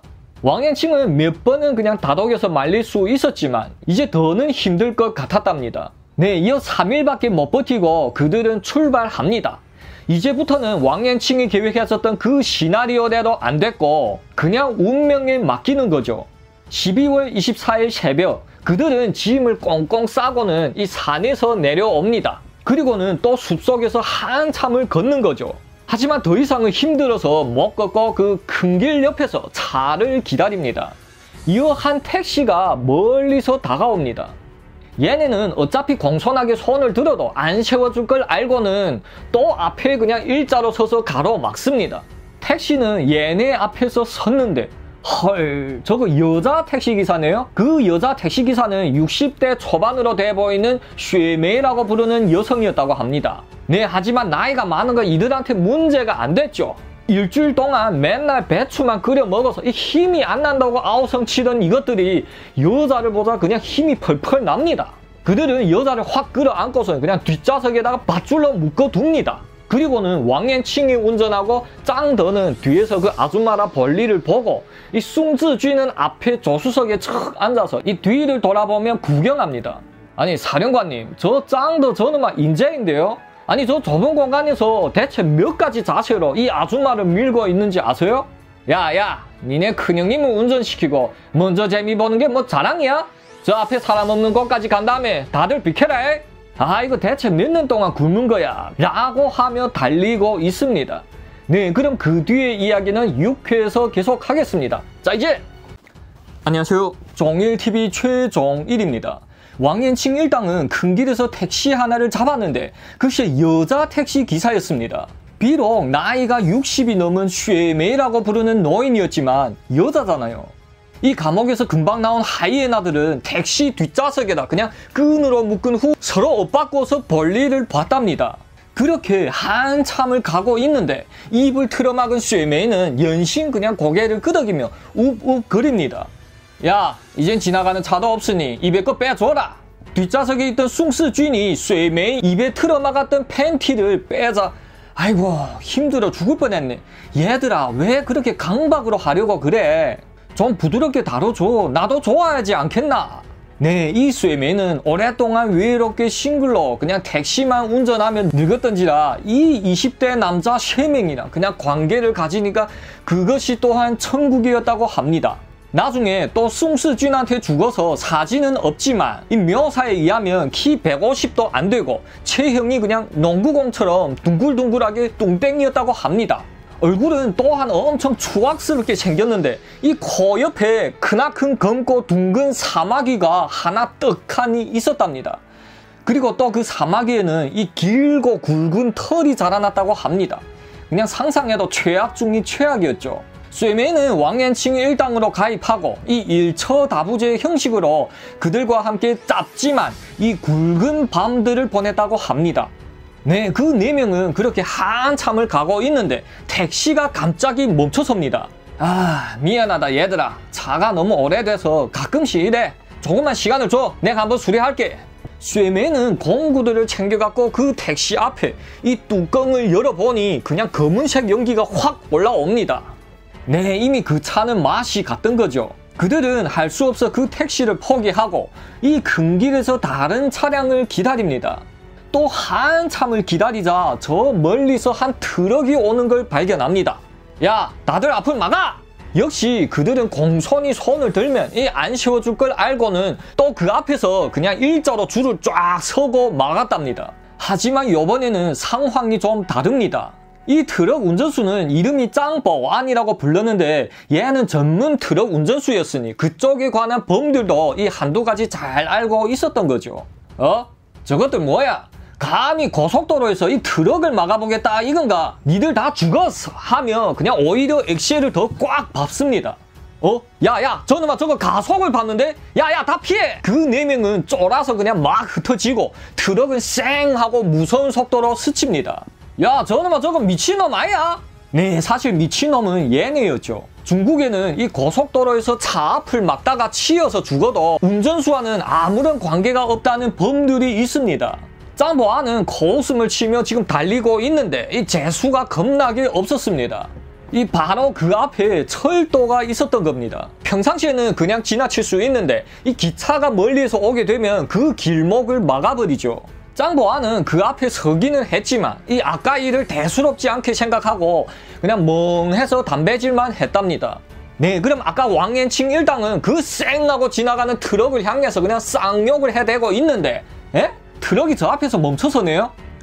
야, 저거 잡아라! 왕앤칭 일당 3명은 비수를 뽑아갖고 트럭으로 막 달려갔고 그 뒤에는 쇠매가 그냥 뚱기적 뚱기적 하고 따라갑니다.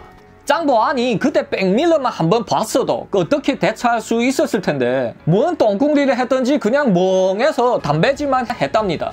그 80년대의 트럭은 자동 잠금 장치도 안 돼 있어서 그들 넷은 차문을 열고 그냥 차 안을 향해 난도질을 해댑니다. 네, 이렇게 첫 번째 목숨을 앗아가게 됩니다. 그들은 시체를 트럭 뒤에다가 싣고 이 짱더와 숭즈준도 트럭 뒤에 탔답니다. 왜냐면 이 트럭은 뚱펑여 스링이란 트럭인데 이 차 안에는 운전석과 조수석 이 두 명밖에 못 탔죠. 이 쇠매가 연세도 있고 또 여자이니 조수석에 태우고 갑니다. 그들은 쭉 가다가 과수원 하나를 지나게 되었는데 그 과수원은 이미 버려진 상태였는지 그냥 잡초가 자라서 볼품 없었다고 합니다. 그들은 그곳에 짱보안이 시체를 묻어두고 또 다시 출발합니다. 네, 그러면 보통 범죄자들이면 이때 그냥 차도 있겠구나. 그냥 아주 그냥 멀리로 도망치려 하죠. 하지만 왕옌칭은 달랐습니다. 얘는 계획이 다 있었죠. 그는 먼저 증명서를 하나 만들려고 합니다. 그들은 아직도 타이완시를 벗어 안 났고 한 사진관에 들러서 이 증명사진을 찍었다고 합니다. 그리고 그들은 돈을 많이 들여서 이 10분이면 나오는 그 빠른 사진을 찍습니다. 그리고는 그 사진을 짱보 아니 운전면허증의 사진과 이 바꿔치기를 합니다. 네, 지금이야 그 신분증과 운전면허증 같은 거는 다 통째로 돼 있어서 바꾸지 못하게 만들었지만 그때는 아니었습니다. 그때 운전면허증은 비닐로 만들어졌고 이 아래 위를 쫙 뜯으면 이 안에 종이가 있습니다. 네, 그 종이를 빼서 사진을 오려내고 지 사진을 거기다 턱 붙이고 네, 다시 안에 넣고 그걸 다시 잘 붙이면 끝이었죠. 원래 뭘 하나 그냥 깔끔하게 요 자세하게 처리하는 왕앤칭한테는 식은 죽 먹기였습니다. 이제 운전면허증까지 있으니 이 길에서 경찰들이 검사해도 아무 문제될 일이 없게 된 거죠. 이어 그들은 트럭으로 단숨에 200km를 운전하고 12월 28일 오후가 되었습니다. 이어 트럭이 또 구릉구릉하고 이상한 소리를 내더니 멈췄다고 합니다. 네, 자세히 관찰하니 경유가 떨어졌던 거죠. 한참을 기다리니 이번에는 저 멀리서 해방표 트럭 한 대가 그냥 오고 있습니다. 그들은 쇠매를 보고 손을 들어서 세우라고 합니다. 네, 그나마 여자가 손을 들자 그 트럭은 그들 앞에서 멈춥니다. 아이고 총각 우리가 경유가 떨어져서 그러는데 어떻게 좀 도와줄 수 있어요? 네, 얘는 20대 후반으로 돼 보이는 짱구어화라고 불렀답니다. 경유가 떨어졌다고요? 이 부분에 구할 수 있는 곳이 없을 텐데요? 아이고 그러니 이렇게 부탁드리는 게 아니겠어. 어떻게 제 차에 있는 경유를 좀 빼서 우리를 주어. 짱구화는 좀 생각해보니 어차피 다음 주유소까지는 이 자기 차는 충족하니 뭐 용돈이나 벌어보려고 오케이 합니다. 이어 짱구화는 비닐로 된 얇은 도관을 꺼내서 이 자신이 연료 저장고에 넣습니다. 그리고는 입으로 쭉 빨아 올립니다. 이어 경유가 거의 나오면 그쪽을 밑으로 향해 기름통에 빼는 거죠. 그렇게 10여리터의 경유를 빼고는 야 고맙다 잘 쓸게 라고는 뒤돌아 갑니다. 어이 아 이것들이 지금 장난하나 그거 그냥 그렇게 고맙다고 가도 될 일이야? 이어 왕앤칭은 인상을 팍팍 쓰며 다가옵니다. 야 그럼 네 말대로라면 우리 어떻게 가야 되니? 돈을 내놓고 가야 될 게 아니니 돈을 이것들이 양심을 떼어서 아주 어디 개를 줬나? 이어 왕앤칭은 피식 웃으며 헤 고마워서 목숨만을 살려두려고 했는데 아이 되겠다 네 그리고는 말이 끝나기 바쁘게 쿡 하는 소리와 함께 짱고화는 맥없이 쓰러집니다. 바로 뒤에서 짱더가 망치로 짱고화의 뒤통수를 날려버린 거였죠. 그리고는 또 짱고화를 향해 연속 몇 대를 더 날리고는 목숨을 확실히 끊어버립니다. 네 그렇게 두 번째 목숨까지 아사가 버리게 된 거죠. 저번에 피해자 짱보안한테서는 몇십 원 밖에 없었는데 이번에 짱고화한테는 그대로 몇백 위엔을 찾아냈다고 합니다. 이어 이참에 짱고화 트럭이 경유를 그냥 다 빼서 자신이 트럭에 넣고는 짱고화와 그 트럭을 그냥 함께 불을 확 태워버렸다고 합니다. 네, 그리고는 남쪽으로 또 계속 달리고 있습니다. 3일 연속 달리자 허난성 이해시이란 곳에 도착합니다. 허난성? 어디서 많이 들어봤죠? 네, 바로 숭류근 형님이 나와버렸죠. 이 이해시이란 곳에 도착하자 또 경유가 떨어졌다고 합니다. 그곳에서 한참 달리고 있는데 이 길가에서 기름이란 유자를 보게 됩니다. 네, 그 시대에는 주유소가 적으니 이렇게 경유를 가만히 파는 집들이 있었답니다. 하지만 그 가격은 엄청나게 비쌌죠. 몇 배나 되는 가격이 아니면 10배를 넘는 가격에도 팔았답니다. 급하면 어쩔 수 없이 사게 되는 거죠. 하지만 그건 보통 사람들이 경우이고 이 살인을 하면서 눈 깜짝 안 하는 냉혈 인간들한테는 또 다릅니다. 그 경유를 파는 사람은 이름이 정구 회의였답니다. 아이고 또 이렇게 이름이 나왔으면 그 결과는 어떻게 됐을지 이젠 다들 추측이 가시죠. 왕앤칭 일당은 그곳에 주차하고 이 안으로 들어가 봅니다. 네, 그 아주 작은 집에 책상 하나와 의자 하나가 달랑 있었는데 이 정국회가 의자에 앉아서는 이 담배질을 척 하고 있었답니다. 그리고 그의 곁에는 이 자그마한 연료통이 하나 있었고요. 어이 아저씨 경유가 요만큼밖에 안 돼? 어디 더 없어? 정국회는 왕앤칭을 이래 아래우로 훑어보더니 왜 이거 분이겠니? 니 돈만 있다면 얼마든지 있지. 돈을 먼저 보자. 이어 왕앤칭은 몇백 위엔이 전 재산을 꺼내 보입니다. 에이 그 돈을 갖고는 경유를 딱 요만큼밖에 못 사. 이걸 갖고 가. 네, 이어 밖에서 이 주위를 살피던 숭즈 주인이 들어와서 왕앤칭 보고 주위에 사람이 없다고 속삭입니다. 그러자 왕앤칭의 얼굴색이 또 싹 변하죠. 니 혼자야? 왕앤칭은 품속에서 비수를 척 빼듭니다. 어, 네? 네, 아, 제 혼자 사는데 목숨만을 살려주세요. 이 목숨을 살려주면 제 경유를 다 내놓겠습니다. 이어 왕앤칭은 피시 웃으며 아, 그래야지. 다 내놔야지. 빨리 내놔라. 정국회는 그들을 데리고 이 뒤쪽 창고에 들어가서 큰 통으로 된 경유를 두 통 보입니다. 네, 딱 보니 그 정도면 충분했었죠. 어이 아저씨 다음 생에는 이렇게 남이 돈을 사기치지 말고 정직하게 잘 살아 라고는 그 셋은 달려들어 마구 쑤셔버립니다. 쇠매도 이제 이런 장면을 몇 번이고 봐왔으니 그냥 대수롭지 않게 바라봅니다. 네 그리고는 그들이 다 끝나자 그 흔적들을 닦습니다. 이어 그들은 경유를 다 챙기고 또 남쪽으로 떠납니다. 그리고 12월 31일 새벽 그들은 이제 후베이성에 들어섭니다. 사실 이 며칠 동안 비록 몇 번이고 그 검사가 있었지만 왕앤칭은 이미 바꿔놓은 운전 면허증 덕분에 아무 문제 없이 우한까지 도착하게 된 겁니다. 네, 이번에 우한에 도착한 그들은 원래 이곳에서 자리 잡고 이 큰 건 하나 하자고 했는데 그날 밤에 왕앤칭이 꿈자리가 뒤숭숭했답니다. 그 이후로 그곳을 떠났다고 합니다. 얘네는 목숨을 내걸고 다니는 거니까 그런 것도 많이 따졌겠죠. 그들은 후베이성을 떠나 강서성으로 갑니다. 네, 그럼 이제껏 세 명의 목숨을 앗아간 이 악마들은 강서성에서 또 어떤 악행들을 이어갈까요? 7회에서 계속하겠습니다. 자, 이제 안녕하세요. 정일TV 최종일입니다. 이미 3명을 죽인 왕앤칭 일당은 이 강서성을 지나 안회성으로 갑니다. 안회성은 왜 가냐? 바로 황산이 있었기 때문이죠. 중국 10대 명산 중에서 이 첫 번째로 손꼽히는 안회의 황산이었습니다. 네, 여기는 우리 한국 손님도 많이 가는 곳인데요. 왕앤칭 일당도 뭐 언제 잡혀서 총살 맞을지도 모르니까 이 하루를 보내도 이런 좋은 곳에서 좋은 걸 구경하며 보낼 계획이었습니다. 그들은 지금 한창 기쁜 마음으로 흥얼거리며 운전하고 있습니다. 네, 하지만 이때 한참 운전하던 왕앤칭이 갑자기 긴장합니다. 네, 바로 뒤에 한 백색 승합차가 몇 시간 동안 그냥 딱 붙어서 따르고 있었던 거죠. 왕앤칭은 뒤에 창문을 툭툭 치며 신호를 줍니다. 네, 이 들어가는 자리가 없어서 뒤에서 두터운 담요를 덮고 이 와들와들 떨고 있던 숭즈진과 짱더를 부른 거였죠. 네, 그리고는 왕앤칭은 혹시나 해서 이 속도를 늦춰봤지만 백색 승합차 역시 속도를 늦추며 뒤따라 옵니다. 자, 요것들 봐라. 왕앤칭은 씩 웃으면서 곁에 공구 상자에서 도끼를 꺼내 허리에 찹니다. 네, 이 얼마 안 지나서 차량이 적은 한적한 곳을 지나자 이 뒤에 스나차는 쌩 하고 초월합니다. 네, 그리고는 급정거로 왕延칭 차량 앞을 확 막습니다. 왕延친과 숭즈쥔 짱더는 차에서 내렸고 그쪽 백색 승합차에서도 이 다섯 명의 남자들이 우르르 내립니다. 네, 그들이 손에는 식칼과 멍둥이가 있었으면 얘들아, 이 교통비 5천 위엔이다. 없으면 그 트럭을 놔두고 꺼져라. 그럼 오늘 목숨을 살려주지. 네, 그 말을 들은 왕延칭은 씩 웃으면서 야, 내 여기 여행하러 왔는데 그런 것까지 내야 되니? 하며 허리춤에서 도끼를 빼듭니다. 네, 이어 뒤에 있던 짱더와 숭즈쥔도 이 비수를 빼들고 천천히 강도들을 향해 다가갑니다. 야야, 너네 진짜 뭐 해보자는 게 뭐야? 우리 쪽수가 더 많은데?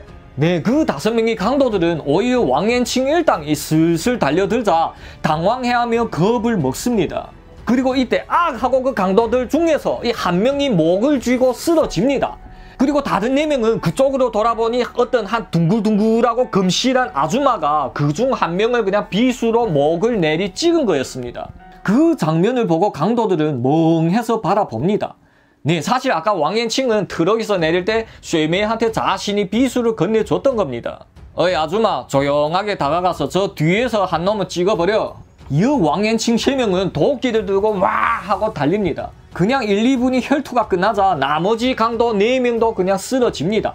왕앤칭 일당은 짱더가 팔에 칼을 좀 맞은 거 빼고는 다른 손상은 없었는데 이 강도 5명은 모두 현장에서 즉사했다고 합니다. 네, 이건 뭐 한무리 악인들이 운수가 안 좋아서 다른 더한 악인들한테 당한 꼴이 되었죠. 그들은 호주머니를 다 털어서 이 몇백 위엔을 챙기고 이 시체들을 그들이 백색 승합차에 쳐 넣습니다. 그리고는 문을 콱 닫아놓고는 비상등을 켜고 네 가버립니다. 그때는 지나가는 차량들이 많지 않아서 그냥 발견되는 시간이 오래 걸렸답니다. 그 지나가는 차량들도 다들 그냥 지나가면서 어 저 차는 비상등을 켜고 쉬고 있구나 라고 생각했었죠.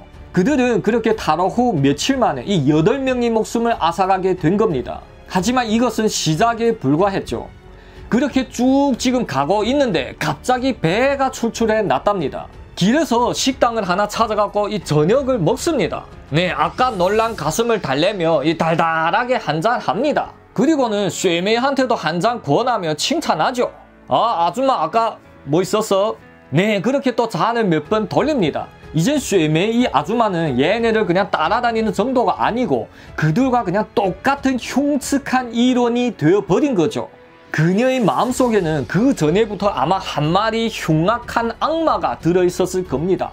그리고 왕앤칭 일당을 만난 뒤에 그 봉인이 해제되어 막 그냥 악마 본성을 드러내게 된 거죠. 네, 그렇게 배도 뚱뚱하게 잘 불렀고 이 술도 알딸딸하게 잘 된 후 그들은 나옵니다. 그리고는 또 기분 좋게 차에 오르려 하는데 에?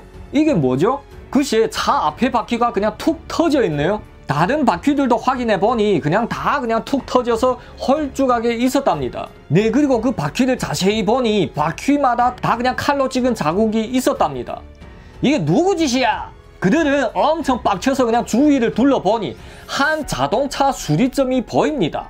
네, 바로 이 자동차 수리점에서 고의로 얘네 자동차 타이어를 빵꾸 내고 와서 갈아라 이거였죠. 이런 죽일 놈이 안회인들. 네, 중국에는 험악한 곳이 여러 군데 있는데 그 중에서 황산이 있는 이 안회란 곳이 제일 어두웠답니다. 이곳은 황산이란 이 풍경구 때문에 관광 손님이 많으니 이 자유여행으로 다니는 사람들 또한 많았죠. 그리고 많은 안후의 본지방 사람들은 그런 관광객들을 그냥 많이 습격했답니다. 하지만 지금은 치안이 좋아져 괜찮습니다. 80년대에는 안후이 사람이라면 다들 그냥 슬슬 피할 정도까지 되었답니다. 하지만 이 안후이는 요번엔 그냥 잘못 건드려도 단단히 잘못 건드렸죠.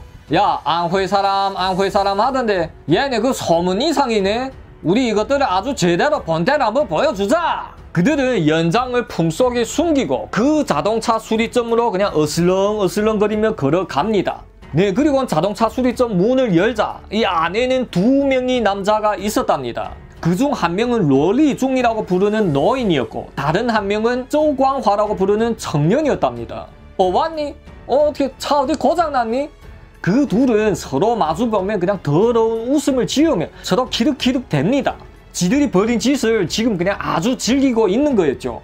왕앤칭은 도끼를 꺼내며 어이 니들 오늘 똥 밟았다. 라고 하며 마구 내리 찍었답니다. 네, 이어 뒤에 다른 부하들이 들어왔을 땐 이미 상황이 종료되었죠. 얘들아, 빨리 뭐가 있는지 잘 뒤져보고 이리 떠나자. 그리고는 왕앤친과 쇠메가 이 타이어를 갈고 숭즈진과 짱더가 이 가게 안을 샅샅이 뒤집니다. 네, 이어 한참을 지나서 이 타이어를 거의 갈았는데 짱더가 막 달려옵니다. 형님, 제 쪽을 샅샅이 뒤졌는데 현금 900위원이 나왔습니다. 그래, 알았어. 이것도 뭐 다른 관광객으로부터 사기쳐서 받아낸 돈이겠지. 우리 지금 많은 사람을 도와서 지금 좋은 일을 하는 거다. 들었니? 라고 하며 그냥 콧방귀를 끼고 있습니다. 이때 또 숭즈진이 막 달려옵니다. 형님, 우리 죽인 놈들이 어떤 놈들인지 아십니까? 한번 알아맞혀 보세요. 사기꾼 놈들이겠지 뭐 또 있겠니? 아닙니다 형님 이걸 보세요. 네, 숭즈쥐는 왕앤칭한테 종이 한 장을 건넵니다. 왕앤칭이 그걸 받아보니 형사 판결문이었습니다. 네, 아까 그 죽인 러인 러리중은 전에 여자를 강간한 죄로 이 4년을 판결받고 깜빵 생활하다가 나온 거죠. 근데 이 변태 러리중은 그게 뭐가 좋은 거라고 이 판결문을 그냥 베개 속 안에다 감춰두고 있었답니다. 그리고는 매일 밤 그 강간했던 그날을 꿈꾸며 그냥 잤던 걸까요? 야야 안회성은 아이 되겠다 야. 황산이고 뭐고 뜨자. 이거 뭐 반나절 동안 일곱 명을 만났는데 뭐 다 강도의 사기꾼 강간범이냐? 야 여기서 못 살겠다. 우리 여기 포기하고 다른 데로 가자 네 안회성은 이런 무서운 줄도 모르는 하루살이들도 그냥 피할 정도였습니다 80년대는 그렇게 어둡고 무서운 곳이었답니다 왕앤칭은 떠나며 그 롤리 중이 그 소중한 부분을 그냥 확 베어버리고는 그 형사 판결문을 그 위에 가려놨다고 합니다. 경찰들이 나중에 그걸 보고 이 복수극으로 혼란을 주려 한 거였죠. 네, 그들은 또 트럭을 운전하고 반대 방향으로 출발합니다. 형님, 이제 우리 어디로 가는 겁니까? 야, 황산이 아니면 우리 항저우 서호로 가야지. 그들은 트럭을 모고 또 며칠 동안 운전하며 이 절강성 부근에까지 도착합니다. 하지만 그 부근에 도착하자 쉬웁니다. 뒤에 타고 있던 둘은 또 뭔 일이 있는지 그냥 비수를 꽉 잡고 내려옵니다. 야들아, 우리 이제 이 트럭은 너무 오래 했었어. 버리고 갈아탈 때가 됐다. 근데 우리 먼저 사고는 치지 말고 이 버스를 타고 서호에 가서 그냥 며칠 동안 푹 쉰 다음에 그 다음에 또 다시 작업 시작하자. 네, 이어 그들은 트럭이 지문을 그냥 싹 닦아내고 연장들을 그냥 큰 가방에 잘 숨깁니다. 그리고는 조용하게 그냥 버스를 타고 서호 관광을 그냥 제대로 즐겼다고 합니다. 하지만 그날 밤 또 하마터면 큰 일이 생길 뻔 했답니다. 네, 그 자세한 내용은 안 나와 있지만 대충은 이러했답니다. 그들은 요몇 차례 요 강도질 끝에 허주머니도 조금 두둑하니 밤에 술이 얼큰하게 된 김에 그냥 룸사롱에까지 갔답니다. 네, 그리고는 가서 그냥 화끈하게 물을 빼고 여관에 들어가서 잠자게 되었죠. 하지만 이튿날 네 일어나 보니 분위기가 장난이 아니었답니다. 숭즈주인이 눈을 겨우 뜨니 자신이 그냥 쫄떡 다 벗은 채로 이 침대에 밧줄로 꽁꽁 묶여 있는 걸 발견했답니다. 그 앞에는 쇠매가 그냥 가위를 들고 이 숭즈주인이 소중한 쪽을 예, 툭툭 칩니다. 야, 너 어젯밤에 아주 황홀했다며, 어? 어떻게, 그리 좋았니? 네, 그리고 그 곁에는 왕앤친과 짱더가 그냥 멀뚱멀뚱해 서서 바깥을 내다보면 그냥 담배만 태우고 있었답니다. 네, 사실 제일 처음에 이 쇠매를 납치했을 땐 그냥 셋 다 쇠매와 관계를 가졌지만 그렇게 며칠 지나자 쇠매는 그 중에서 숭즈쥔을 선택하고 그와만 관계를 가졌답니다. 뭐 숭즈쥔이 뭔가가 다른 두 명보다 덜출했겠죠. 그리고는 제 딴엔 그냥 썸이라고 생각했겠지만 그들 생각은 어땠을까요? 쇠매는 가위를 들고 숭즈쥔이 소중한 부분에 대고 툭툭 치면서 지금 위협하고 있는데 네 그 다음엔 어떤 일이 벌어지게 될까요? 다음 회에 계속 할게요 라고 하면 왠지 욕먹을 것 같아 계속 할게요 네 그럼 그런 상황에서 다른 방법이 더 있겠나요? 숭즈쥐는 아주 그냥 손이야 발이야 라고 빌었고 다시는 다른 여자랑 자지 않겠다고 이 맹세를 받고 풀어졌다고 합니다.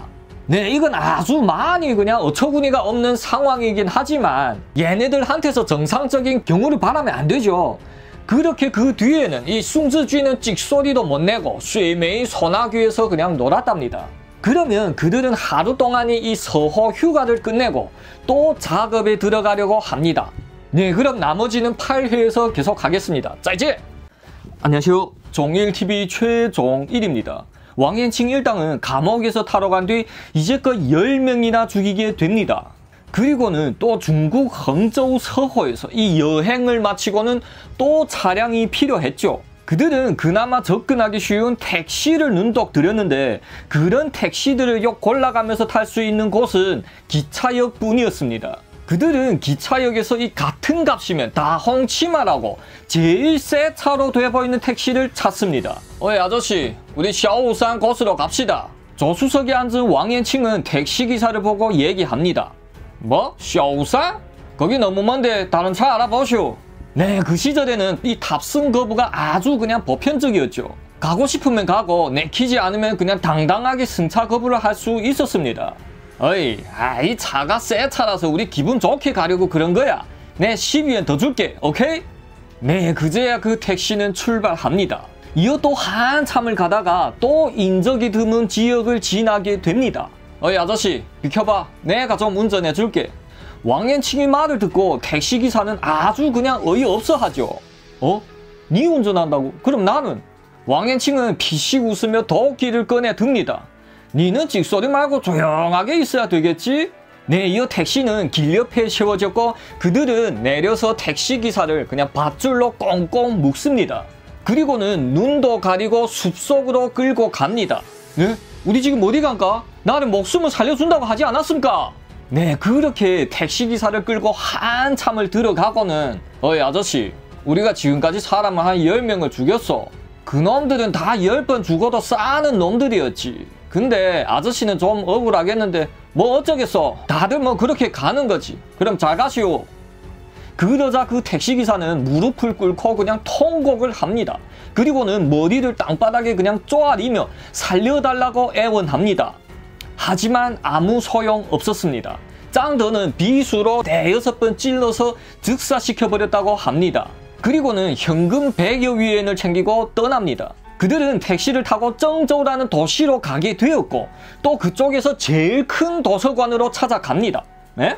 뭔 도서관이죠? 이 상황에서 설마 또 뭐 공부를 하려고 그런 걸까요? 아닙니다. 그들은 돈이 다 떨어져서 이 도둑질하러 간 거였습니다. 11명이나 죽이고 이 차량도 많이 빼앗았지만 현금은 별로 없었던 거죠.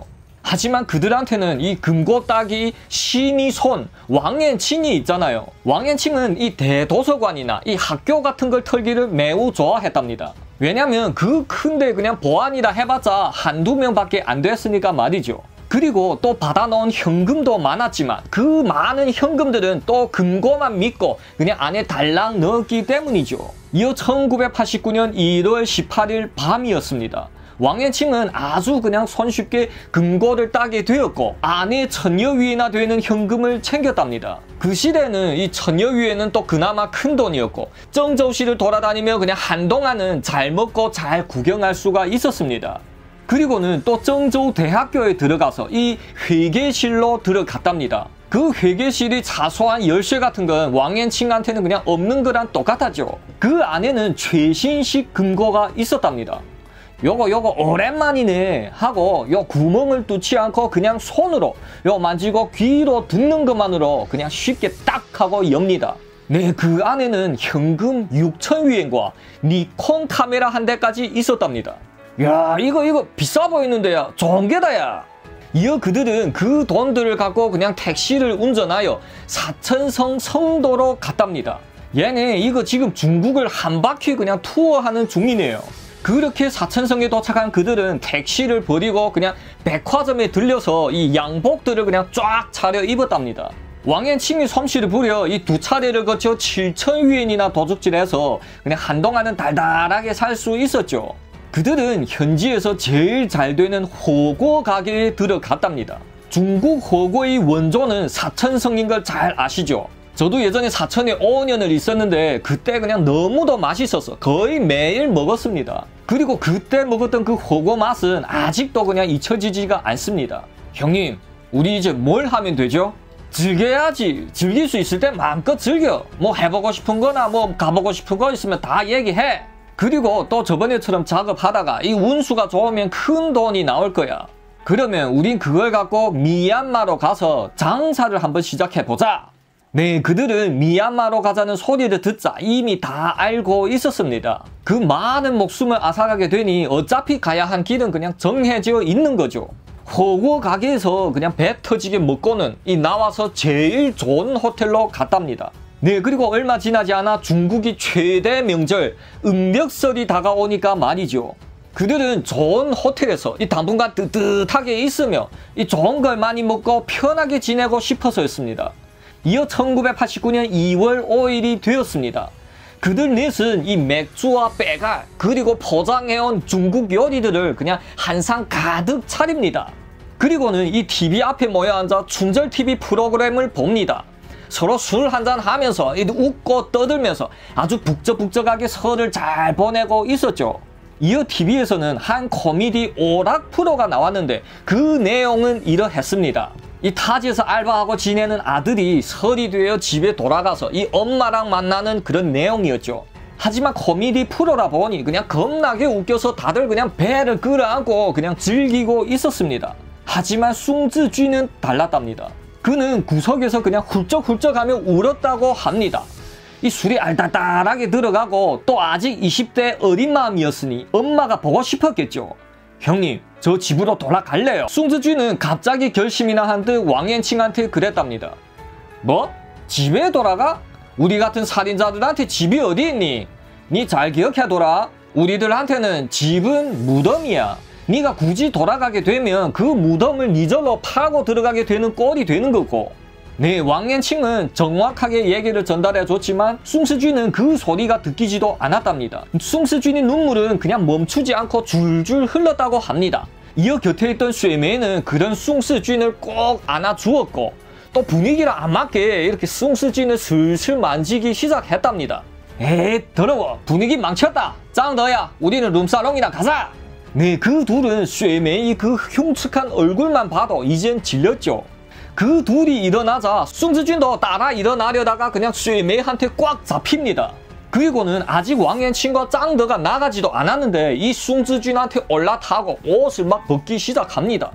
에이 저 숭즈준 저 불쌍한 놈만 어찌게 왕앤친과 짱더는 밖에 룸사롱에서 이 뜨거운 하룻밤을 지내고 이튿날 오후가 되어서야 부시시해서 일어나 호텔로 돌아갔답니다.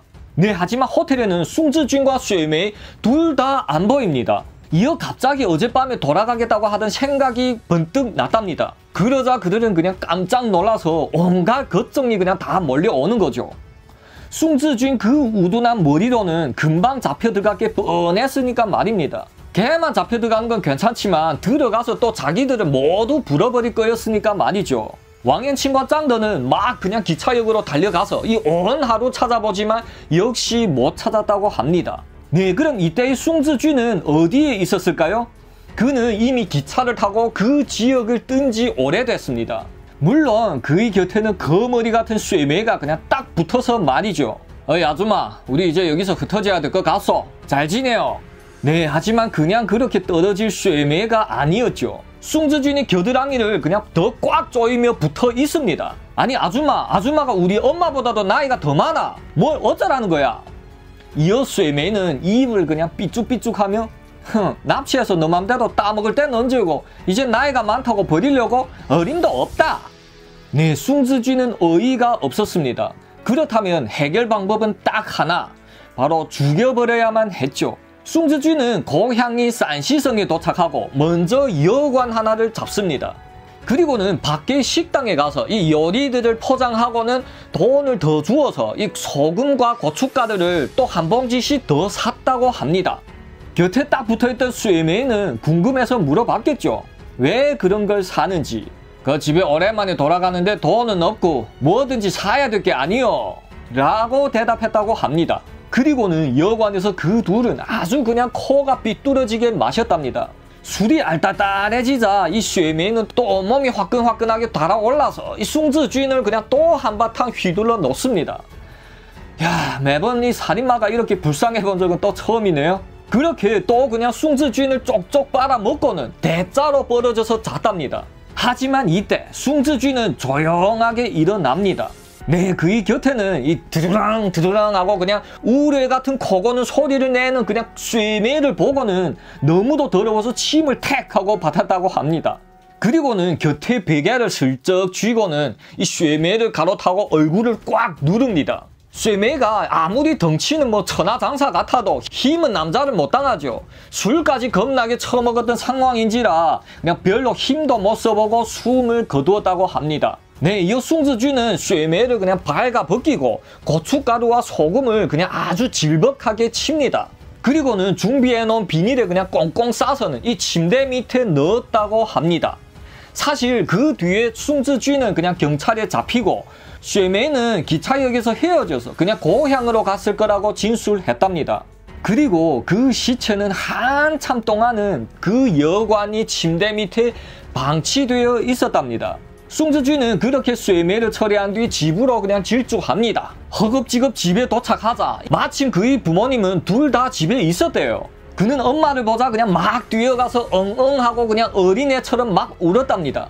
이제껏 겪어온 서러움이 그냥 한꺼번에 폭발하게 된 거죠. 그렇게 한참을 지나서 진정하고는 배고프다고 합니다. 어 알았다. 아들아 조금만 기다려. 어이 여보 그 집에 달걀 한 마리 잡아. 우리 아들 몸보신 시켜줘야지. 그리고 내 나가서 따끈따끈한 술을 사올게.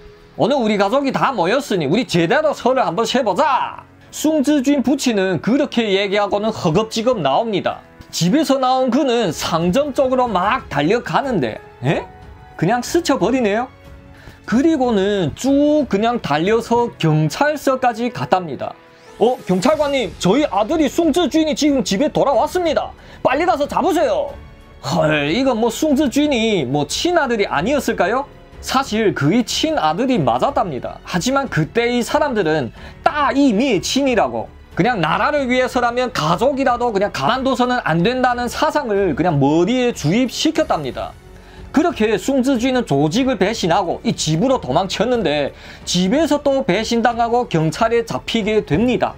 전에 제가 했던 텐슈와 루린에도 이런 재미있는 친구가 하나 있었죠. 숭즈쥐는 그렇게 집에 들어간 지 한시간도 안 돼서 이 경찰서에 잡혀 들어가게 됩니다.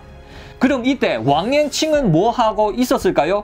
9회에서 계속 하겠습니다. 자 이제 안녕하세요. 종일TV 최종일입니다. 8회에서 숭즈쥐는 쇠메이를 죽이고 집으로 돌아가게 됩니다. 그리고는 꿈에도 그리고 그리던 그 부모와 만났는데 또 한 시간도 안 돼서 부친이 신고로 경찰서에 잡혀 들어가게 됩니다. 그러면 이때 성도에 있던 왕년 친구와 짱더는 뭐 했을까요? 얘네는 완전 빡쳐 있었답니다. 왜냐면 쇠메가 숭즈쥔과 함께 떠날 때 이 호텔을 그냥 싹싹 뒤졌답니다. 그리고는 왕앤칭이 숨겨놓은 남은 돈을 그냥 깡그리 쓸어갔기 때문이죠. 이제 얘네는 빈 털터리가 돼갖고 호텔에서도 쫓겨나게 됩니다. 그들은 공원이 벤치에 멍하니 앉아서 이 유일하게 남아있는 니콘 카메라를 만지작거립니다. 형님 이거 꽤 돼 보이는데 제가 가서 팔까요? 왕앤칭은 귀찮아서 그냥 거들떠 보지도 않았죠. 네, 때는 1989년 2월 21일 오전 10시쯤이었습니다. 짱더는 전자제품 중고 시장으로 가게 됩니다. 그리고는 이 카메라를 등에 메고는 이 시장 안에서 어슬렁어슬렁거리며 돌아다닙니다. 이어 얼마 안 지나 과연 한 남자가 그한테 접근합니다.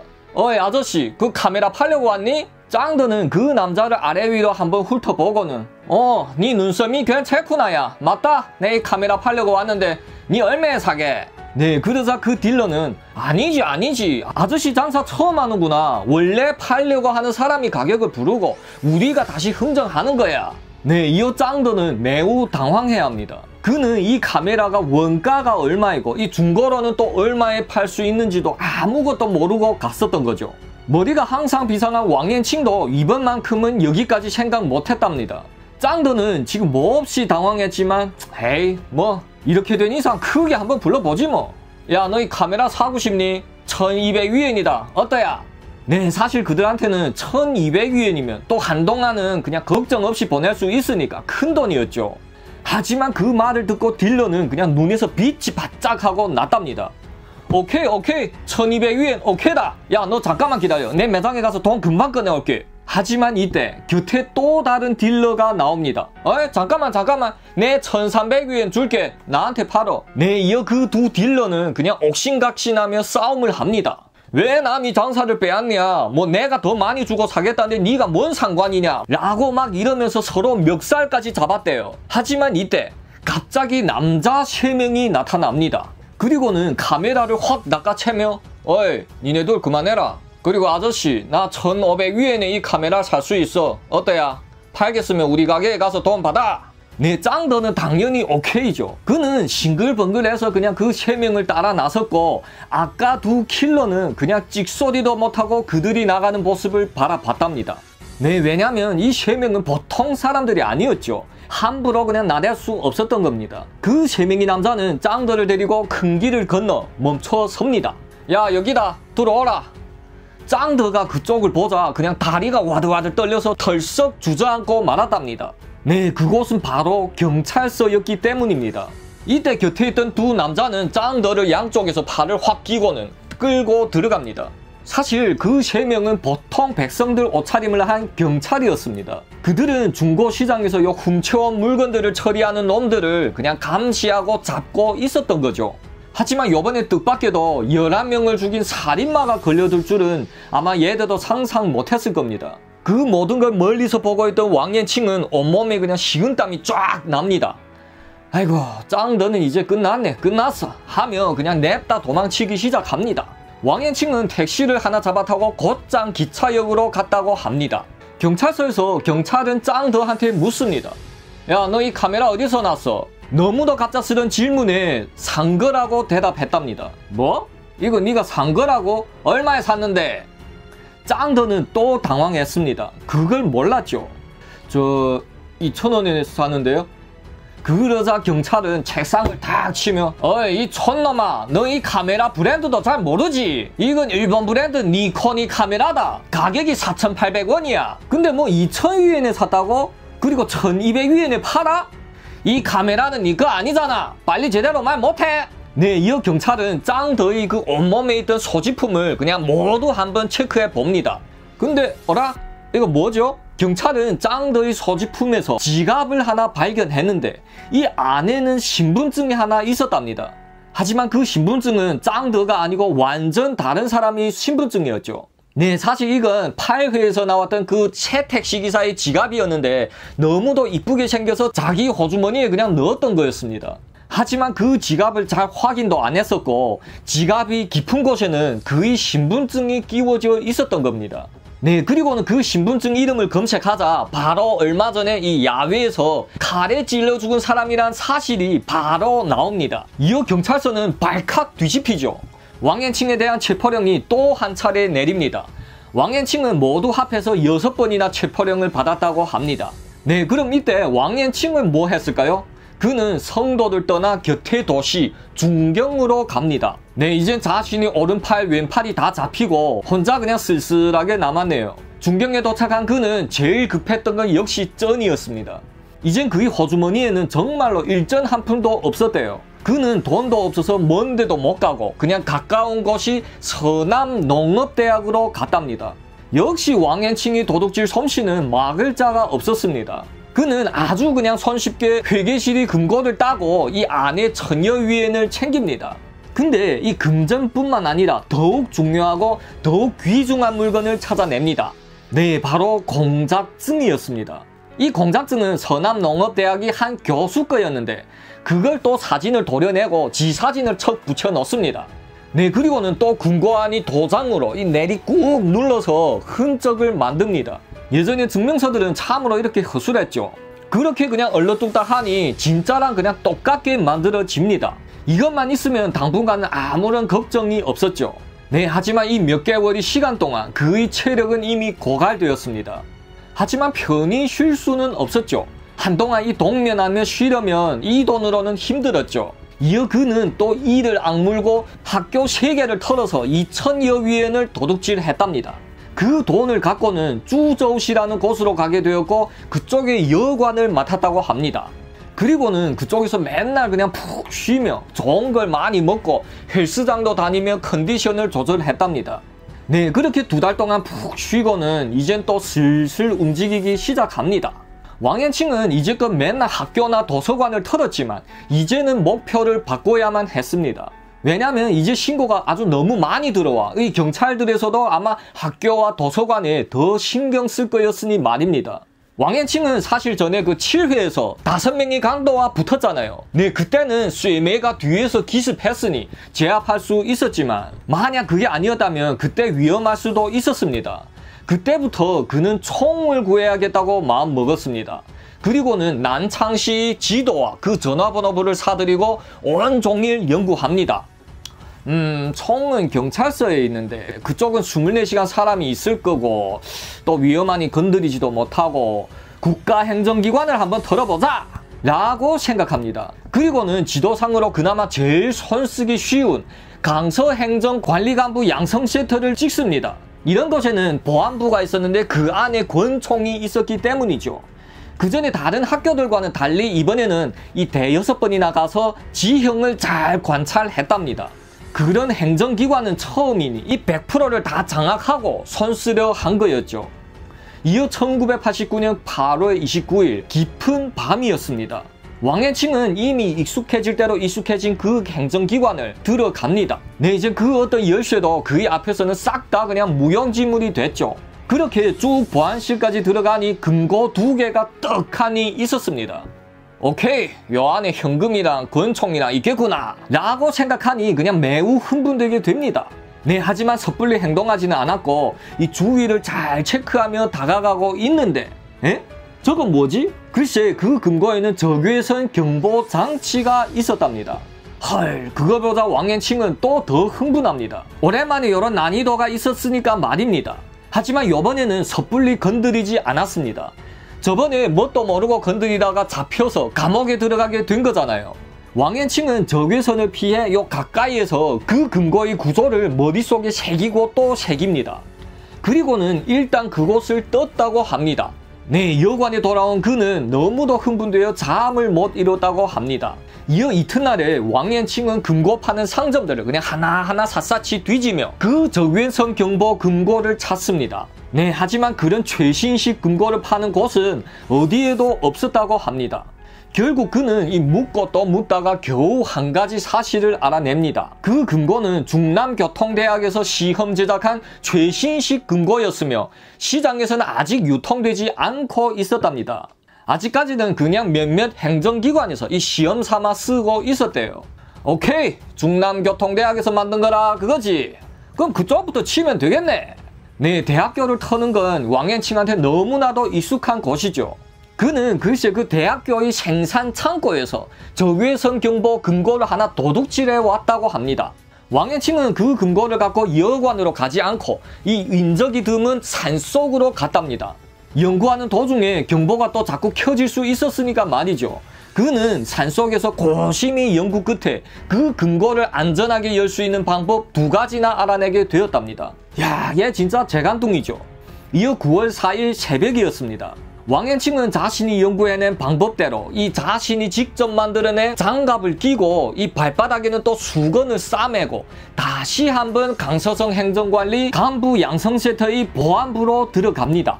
그리고는 연습대로 그냥 아주 손쉽게 적외선 경보를 해제하고는 금고를 엽니다. 자, 그 안에는 역시 5사식 권총 한 자루와 6사식 권총 한 자루가 들어있었다고 합니다. 그리고는 탄약 몇십 개랑 그 현금 천여 위엔이나 있었답니다. 그 모든 걸 가방에 챙기고는 또 그 금고의 비밀번호를 바꿔놨다고 합니다. 요놈 요것도 장난꾸러기죠. 이 사건은 사실 나중에 왕앤칭이 잡히고 자백한 뒤에야 밝혀지게 되었답니다. 그때 이 경찰서는 그 총기 도난 사건을 내부 사람이 지시라고 간주하고 그 비밀번호를 알고 있던 내부 사람들을 그냥 하나하나 수색했다고 합니다. 그 당시에 그런 최신식 근거를 이 흔적 하나 없이 따고 비밀번호까지 바꾸는 건 밖에 사람이 지시라는 건 상상도 못하죠. 경찰서에서는 그 사건을 비밀로 하고 이 내부에서 수사를 그냥 쭉 진행했다고 합니다. 왕앤칭은 이번 건을 성사한 뒤 우한으로 갔다고 합니다. 네, 그쪽에서 여관을 잡고는 이 권총 두 자루를 척 쥐고는 흐뭇해합니다. 하지만 또 이어 갑자기 적적했대요. 권총은 두 자루인데 사람은 하나뿐이네. 왕앤칭은 동료 하나를 찾으려고 마음 먹습니다. 그럼 누구를 찾지? 한참을 생각하던 그의 머릿속에는 한 우스꽝스러운 얼굴이 우수왕 씨가 떠오릅니다. 네, 그럼 왜서 우수왕 씨를 선택하게 된 걸까요? 다음 회에서 계속하겠습니다. 자, 이제 안녕하세요. 종일TV 최종일입니다. 9회에서 왕앤칭은 권총 두 자루를 얻고는 동료 한 명을 끌어들이려고 마음 먹습니다. 하지만 또 새로 잘 모르는 사람을 찾는 것은 위험 부담도 있었고 번거로울 수도 있었답니다. 네, 그래서 자기가 알고 있는 사람들 중에서 찾아야만 했죠. 하지만 그러자면 첫째, 이미 감옥에서 나와야 했고 둘째, 걔가 사는 주소를 알아야 찾아가죠. 그러자 그의 머리에는 한 사람이 떠오릅니다. 바로 스테레오 게임이 우수왕 씨였습니다. 얘는 2회에서 나왔었는데요. 왕앤칭이 제일 처음에 이 감옥에 들어갔을 때 귀샤대기를 하나 날렸잖아요. 그리고는 왕앤칭이 두목이 된 후 맨날 이 스테레오 게임을 시켰죠. 네, 그 게임은 뭐 똥을 싸서 버리는 똥통에 물구나무 서기를 해서 이 머리를 넣고는 시키는 노래를 큰 소리로 불러야만 했습니다. 네, 그러면 똥통 안에서 그냥 노래소리가 울려 퍼져 스테레오 같다 하여 스테레오 게임이라 하였습니다. 하지만 그렇게 당하고도 우수왕 씨는 항상 왕앤칭이 팬이었답니다. 맨날 졸졸 따라다니며 이 수발을 들었고 자신이 집 주소까지 알려주면서 나중에 기회되면 밖에서 만나 그리고 왕앤칭 형님이 소와 말이 되고 싶다고 했답니다. 근데 걔가 추록한 날짜가 88년 12월이었죠. 왕앤칭이 탈옥한 뒤였습니다. 음, 우수왕씨 그는 막 비록 돼지처럼 우둔하고 쓸데는 없지만 나한테 절대적으로 충성은 한단 말이야. 그래, 한번 써보자. 네, 딱히 다른 사람이 없었던 왕앤칭은 우수왕씨가 살고 있는 타이웬시로 갑니다. 하지만 즉시 기차역에서 나오지는 못했답니다. 왜냐면 타이웬시는 왕앤칭의 고향이었거든요. 혹시라도 다른 사람들이 알아볼까봐 이 기차역에 숨어 있습니다. 그는 어떻게 하면 안전하게 이 기차역에서 빠져나갈 수 있겠는가를 잘 모색합니다. 그러던 그의 눈에는 커다란 짐을 그냥 메고 나가는 한 할머니가 보입니다. 왕앤칭은 쓱 다가가서 할머니 무거우실 텐데 제가 도와드리죠. 라고는 지가 할머니 짐을 메고 또 할머니를 구축하며 나갑니다. 네, 이 광경을 다른 사람들이 봤을 때는 그냥 평범한 모자 관계로 보여 의심을 사지 않기 위함이었죠. 이 왕앤칭은 밖에서 할머니를 보내고는 이 잽싸게 부근의 비디오 방으로 들어갔답니다. 그한테 대낮은 역시 아주 위험했었죠. 비디오 방에서 그냥 푹 쉬면서 밤이 되기를 기다리려 했던 거죠. 그 시기 비디오 방은요 매우 혼잡했습니다. 그닥 잘 나가지 못하는 이 밑에 건달들이 보통 둥지를 틀고 있었으며 이 아가씨를 팔았습니다. 그리고는 그 수입으로 지들 용돈이나 버는 그런 피레미 조직들이 운영하고 있었습니다. 왕앤칭은 들어가서 혼자 룸을 하나 맡고는 이 비디오도 끄고 전등도 끄고 누워 잠을 청합니다. 그리고는 잠이 깊게 들었는데 이 갑자기 문이 확 열리고 전등이 확 켜집니다. 어 안녕하십니까 손님 오늘은 장사가 너무 바빠서 예 혼자 남았습니다. 배 위에 모시겠습니다. 네, 왕앤칭은 잠들다 깼던지라 그냥 눈앞이 갑자기 너무 밝으니 눈도 제대로 못 뜹니다. 아니 저는 필요 없는데 네, 이어 왕앤칭이 말을 들은 그 건달은 곁에 있던 아가씨 가슴 쪽을 움켜쥐고 그냥 확 밑으로 땡깁니다. 네, 그러자 그 아가씨 하얀 가슴이 그냥 다 보이게 되는 거죠. 손님, 예, 괜찮습니다. 한번 해보시죠. 그리고 오늘 해도 돈을 내야 되고 아이 해도 돈을 내야 된다. 그래 어찌게? 헐 이거 뭐 강제로 아가씨를 파는 셈이었죠. 왕앤칭은 욱했지만 그 아가씨를 보자 또 예뻤대요. 오케이 100위엔을 주고 아가씨를 남깁니다. 네 그리고는 비디오를 켜놓고 또 그 아가씨랑 볼일을 열심히 봅니다. 네, 그 비디오에서 배워주는 자세대로 여러 방향에서 그냥 아가씨랑 밀고 땡깁니다. 그렇게 볼일이 끝나고 담배 한 대 하고 있는데 또 아까 상황이 살짝 열받습니다. 야, 아, 걔들이 어느 방에 있니? 아가씨는 겁에 질려 제일 안에 룸에 여러 명이 있다고 알려줍니다. 왕앤칭은 권총을 꺼내 철컥하고 탄약을 재우고는 그쪽 룸으로 그냥 어슬렁 어슬렁하며 걸어갑니다. 네, 그리고는 문을 팡 하고 걷어차며 권총을 들고 들어갑니다. 네, 하지만 이때 아까 들어왔던 그 건달 녀석이 일어나자 그 다리에 대고 팡 하고 한 방을 먹입니다. 안에는 세 명이 건달이 있었는데 다른 두 명은 그냥 찍소리도 못합니다.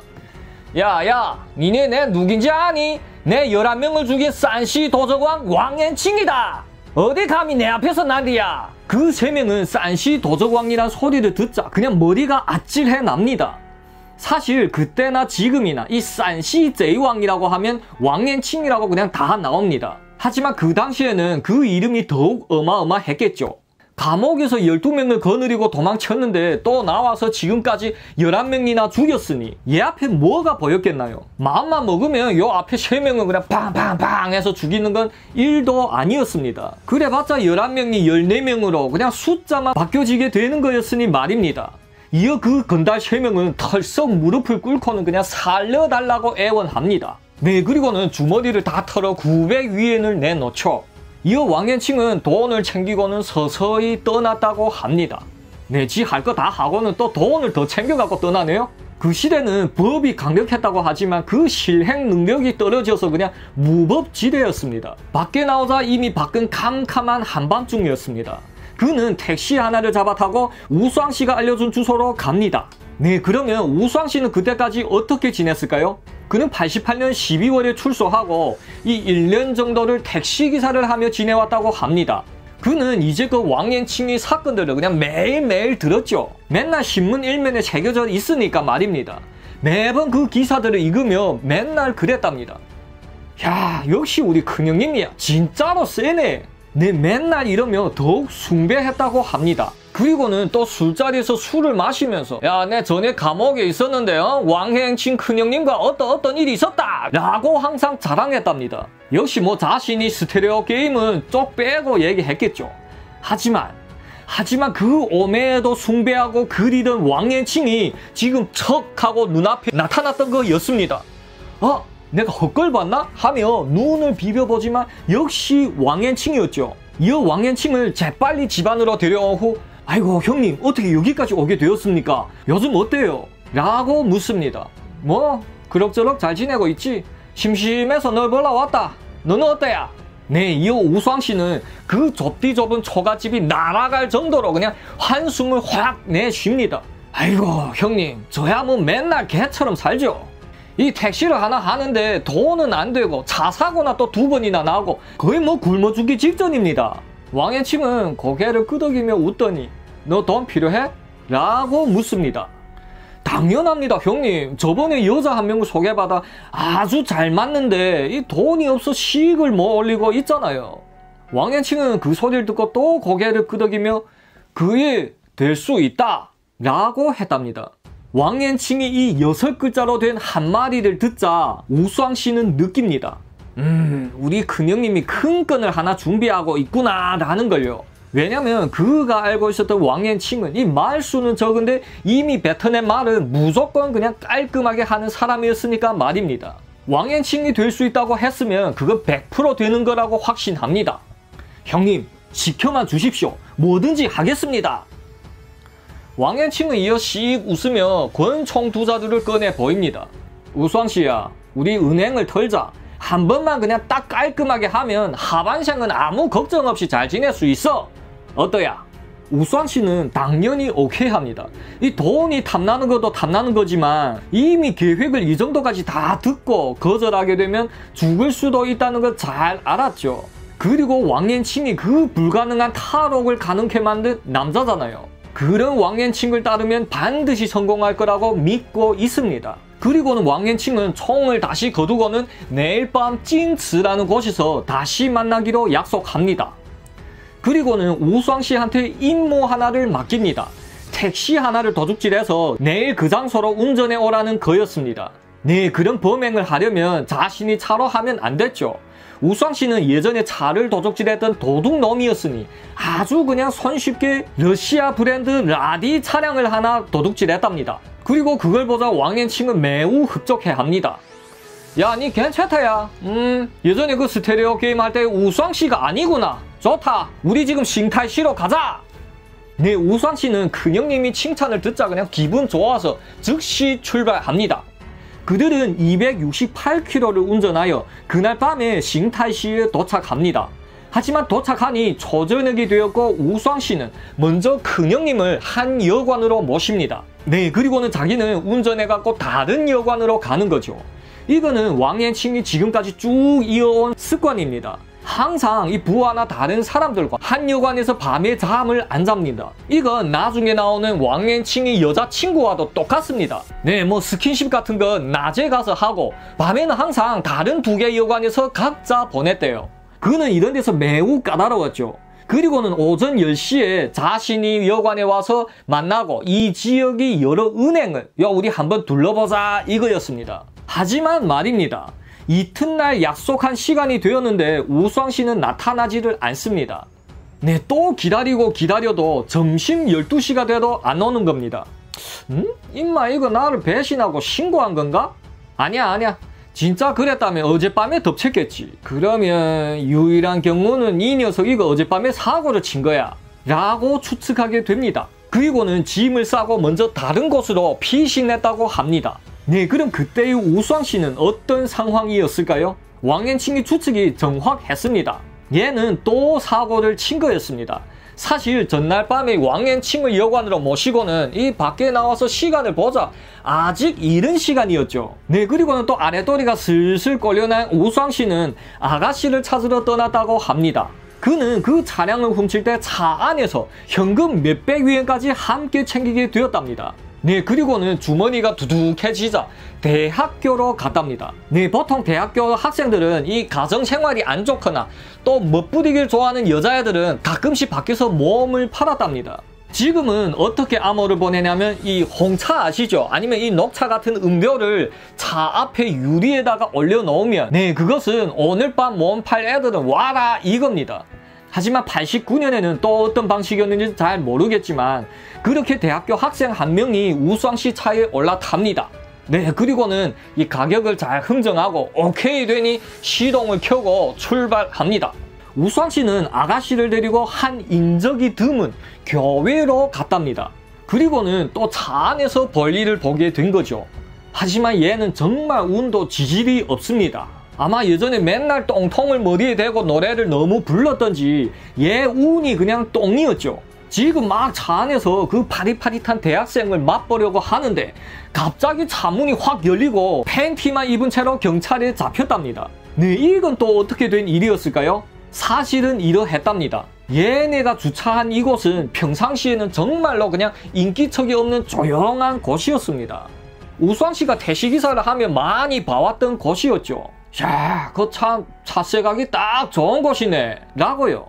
하지만 사건이 발생한 그날 대낮이었습니다. 그 주위에 나무하러 온 한 농민이 그쪽 동굴에서 잠깐 쉬고 있었답니다. 하지만 그 주위를 둘러보던 그 농민은 그냥 등골이 오싹 해놨답니다. 글쎄 그 동굴 안에는 싹 말라서 그냥 미이라 상태가 된 시체가 있었던 거죠. 그리고 그 농민은 신고를 했고 이어 경찰들이 지금 한참 그쪽에서 수사하던 중이었답니다. 하지만 경찰이 눈에는 에?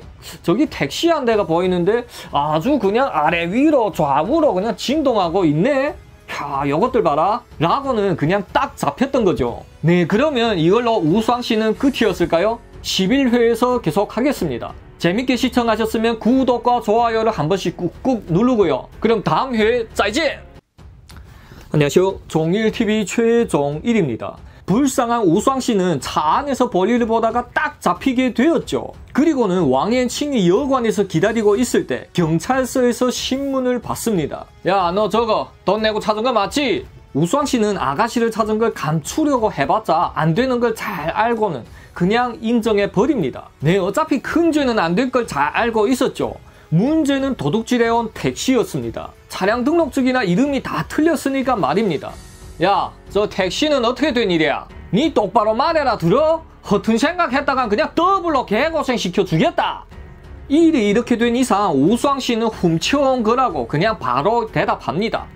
훔친 거라고? 왜 남이 차를 훔쳤는데?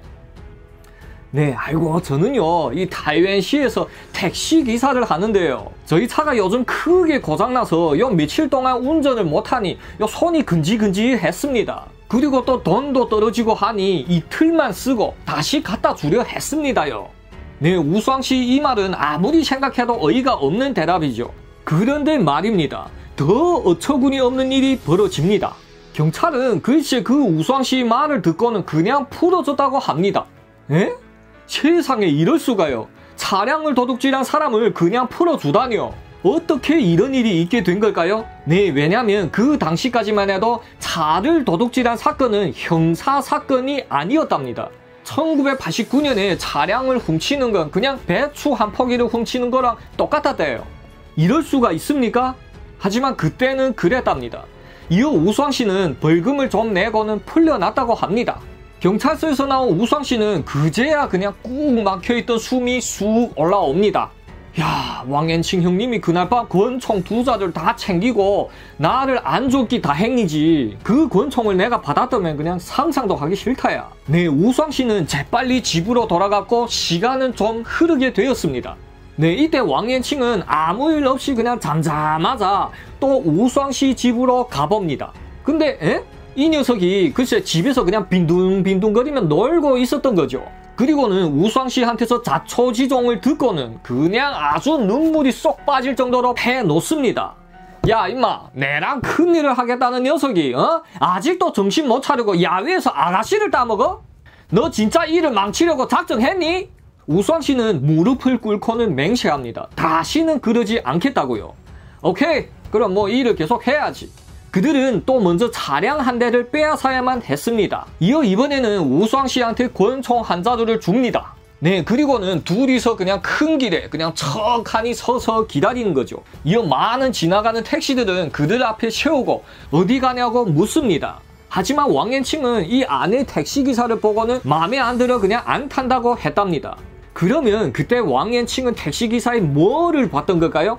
네, 뭐 주먹으로 이길 수 있냐 덩치를 봤을까요? 아닙니다. 사실 얘는 택시기사의 얼굴들을 확인했다고 합니다. 네, 자기랑 비슷하게 생겨야 그 운전면허증과 신분증들을 그냥 자기 것처럼 쓸 수 있었으니까 말입니다. 그렇게 반나절 동안 기다렸어야 그냥 비슷비슷하게 생긴 택시기사를 만납니다. 얘는 이름이 또젠핑이라고 불렀는데 아이고 그 얼굴 생김새가 그냥 왕앤칭이랑 닮았다는 이유로 또 저 세상 가게 됩니다.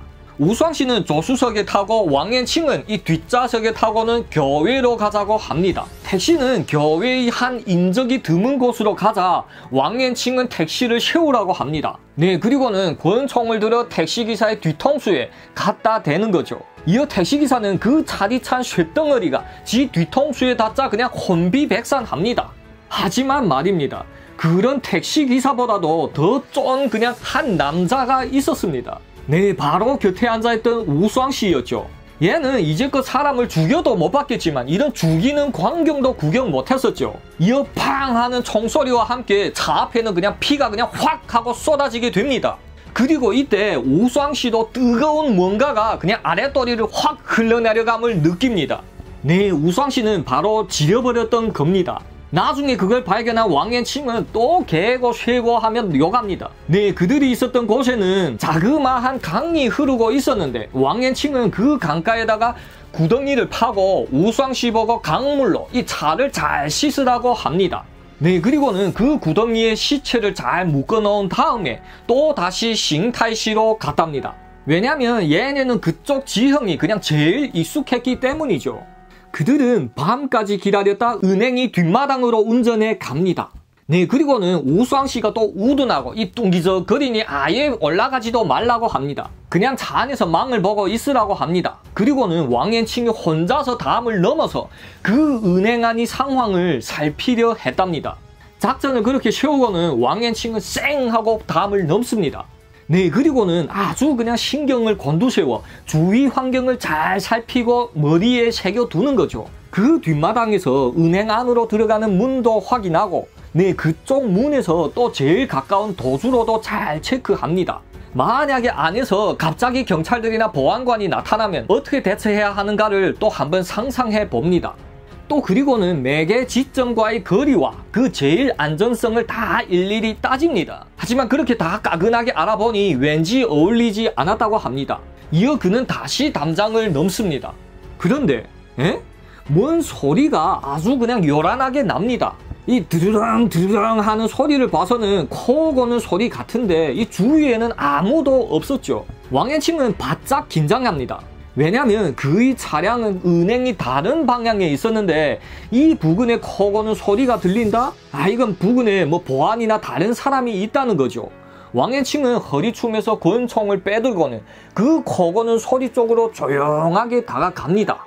네, 그런데 그 점점 다가가니 자신이 차량까지 점점 다가가게 되네요. 이어 차문을 열어보니 글쎄 우수왕 씨가 침을 갤갤 흘리며 깊은 잠에 빠져 있었던 겁니다.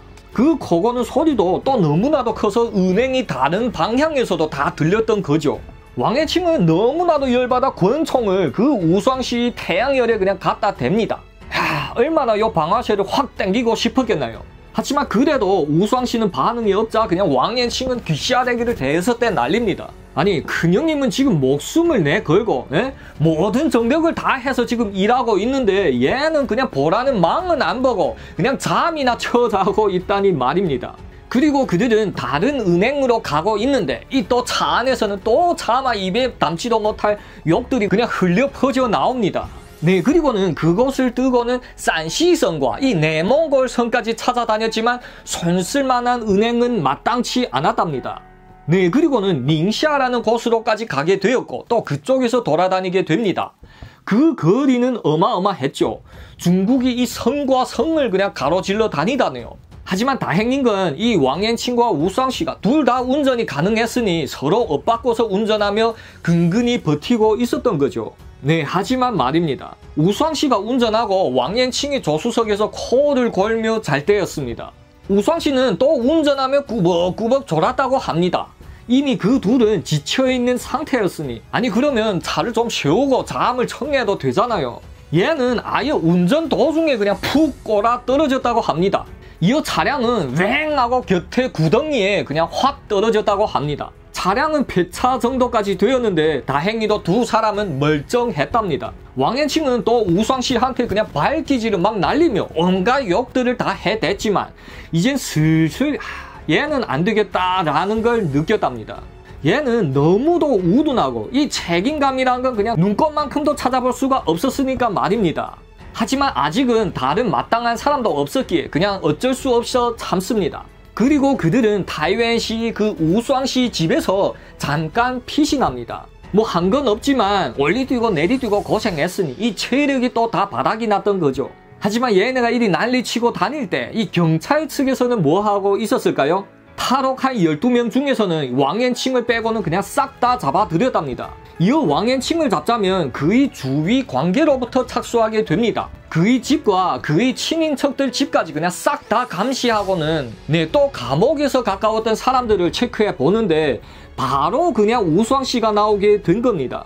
왕앤친과 함께 있었던 감옥 동기들 중에서 이 지금 사회에 풀려난 사람은 얼마 없었으니 금방 우수왕 씨까지 오게 된 거죠.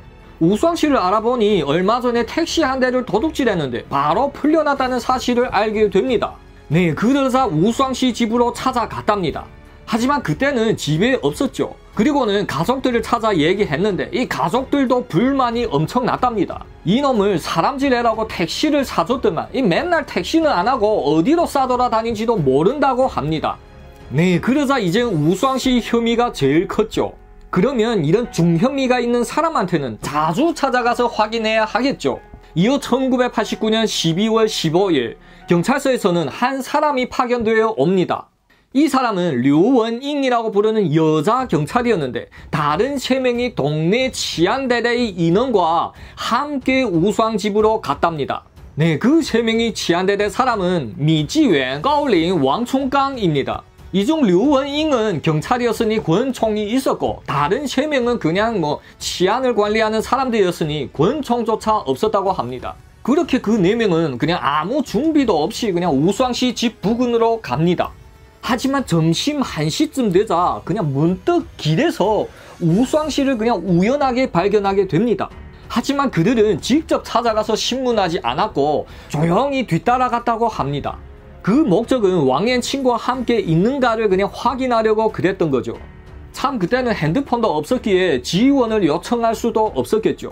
그렇게 그 네 명은 범 무서운 줄도 모르고 그냥 따라가고 있습니다.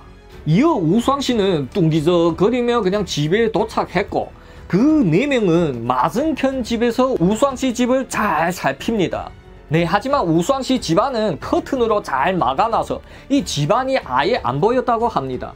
그리고는 또 한참을 지나자 우수왕씨가 이 밖에 화장실로 나왔다고 합니다.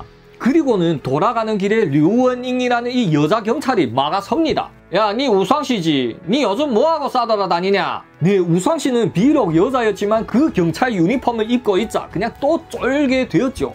그리고는 자기도 뭔 소리를 했는지도 모르게 그냥 몇 마디 그냥 대충 둘러대고는 재빨리 집으로 들어가게 됩니다. 그리고 이 사실을 왕앤칭한테 얘기하자 왕앤칭은 아주 그냥 혼비백산합니다. 뭐라고? 경찰이 지금 우리 집 앞까지 왔다고? 뭘 더 기다리니? 하며 그냥 권총을 빼두고 철컥하고 탄약을 재웁니다. 야야 잘 들어라. 일단 발포하면 그냥 마구 쏴서 죽여라. 한 명을 더 잡으면 함께 갈 동반자 한 명을 더 버는 게다. 들었니? 정신 똑바로 차리래. 네, 그럼 이때 밖에 경찰 쪽은 뭐 했을까요? 류원잉 여자 경찰은 그 치안 대원 중 왕충강을 경찰서로 보내 지원을 요청했답니다. 네, 아까 우수왕 씨 얼굴에서는 자신이 매우 당황했다고 그냥 다 써 있었기 때문이죠. 그리고는 미지웬을 보고 가서 문을 두드리라고 합니다. 네, 그리고 자신과 꺼울리는 정문 앞에 척 서 있는 거죠. 류원잉은 에이 설마 하고 그냥 총도 안 뺐다고 합니다. 네 아마도 경찰이다 하고 외치면 그냥 고분고분 잡힐 거라는 그런 어처구니도 없는 기대를 했겠죠. 이어 총도 없는 미지외는 문을 똑똑 두드립니다. 문 안에는 왕앤친과 오수왕 씨가 이미 권총을 빼두고 딱 붙어서 있습니다. 네 그리고는 손으로 셋, 둘, 하나 하고는 문을 확 열며 문 앞에 있던 미지웬이 머리통에 그냥 팡 하고 쏩니다. 류원잉은 깍 하고 소리 지릅니다. 그리고는 그제야 권총으로 손이 갔지만 이미 왕앤칭이 총에 맞고는 그냥 뒤로 툭 튕깁니다. 곁에 함께했던 꺼울리는 그냥 겁에 질려서 냅다 뛰기 시작하는데 우수왕 씨가 쏜 총을 맞고는 앞으로 엎어졌다고 합니다. 네, 왕앤칭도 총을 많이 쏴보지는 않았기에 여자 경찰인 머리통에 딱 대고는 한 방을 더 매깁니다. 그리고는 부랴부랴 도망쳤죠. 네, 하지만 이건 제가 분석한 장면이고 그 당시에 신문에 실린 내용으로는 이러했답니다. 왕앤칭이 문을 열고 미지웬이 머리통에 총 한 방을 먹입니다. 네, 그러자 그걸 보고 분노한 여자 경찰 류원잉이 그냥 막 고함을 지르며 왕앤칭한테 막 덮쳐들어대요. 네, 그리고는 몸싸움을 막 하다가 총에 맞아 희생됐다고 합니다. 네, 글쎄 뭐 이런 영웅을 미화하려는 그 마음은 이해가 되는데 그래도 이건 너무했죠. 왕앤칭이 누굽니까? 얘는 맨주먹으로도 그냥 감옥에 여섯 명과 붙어도 전혀 밀리지 않은 놈이었습니다. 그런데 여자 경찰이 달려들어 뭐 몸싸움을 했다고요? 네, 그것도 총을 들고 있는 왕앤칭한테요? 네, 뭐 어찌됐든 악마들과 싸우다 희생된 고인 류원잉은 그냥 안타까운 희생이었으니 이쯤 하겠습니다. 그렇게 미지웬과 류원잉은 당장에서 즉사하고 도망치던 꺼울리는 이 엉망이었던 우수왕씨 사격 덕분에 목숨만은 구할 수 있었답니다. 이제 왕앤칭은 평민 12명과 경찰 2명을 죽인 그냥 악마 중의 악마가 되었습니다. 그와의 총격전에서 경찰까지 죽어가고 또 그 와중에 도망에 성공한 왕앤칭의 이름은 그냥 전국을 떠들썩하게 하고 공포에 휩싸이게 했답니다. 네, 재밌게 시청하셨으면 구독과 좋아요를 꾹꾹 눌러주시고 다음 회에서 계속 하겠습니다. 자, 이제 안녕하세요. 종일TV 최종일입니다. 왕앤칭과 우수왕씨는 경찰 2명을 죽이며 도망쳤습니다. 네, 이 경찰이 죽는 거랑 보통 백성 12명이 죽은 거랑 또 달랐죠. 경찰도 자기 자존심에 스크래치를 난 거였기에 그 체포 강도는 이제부터 더욱 강력했습니다.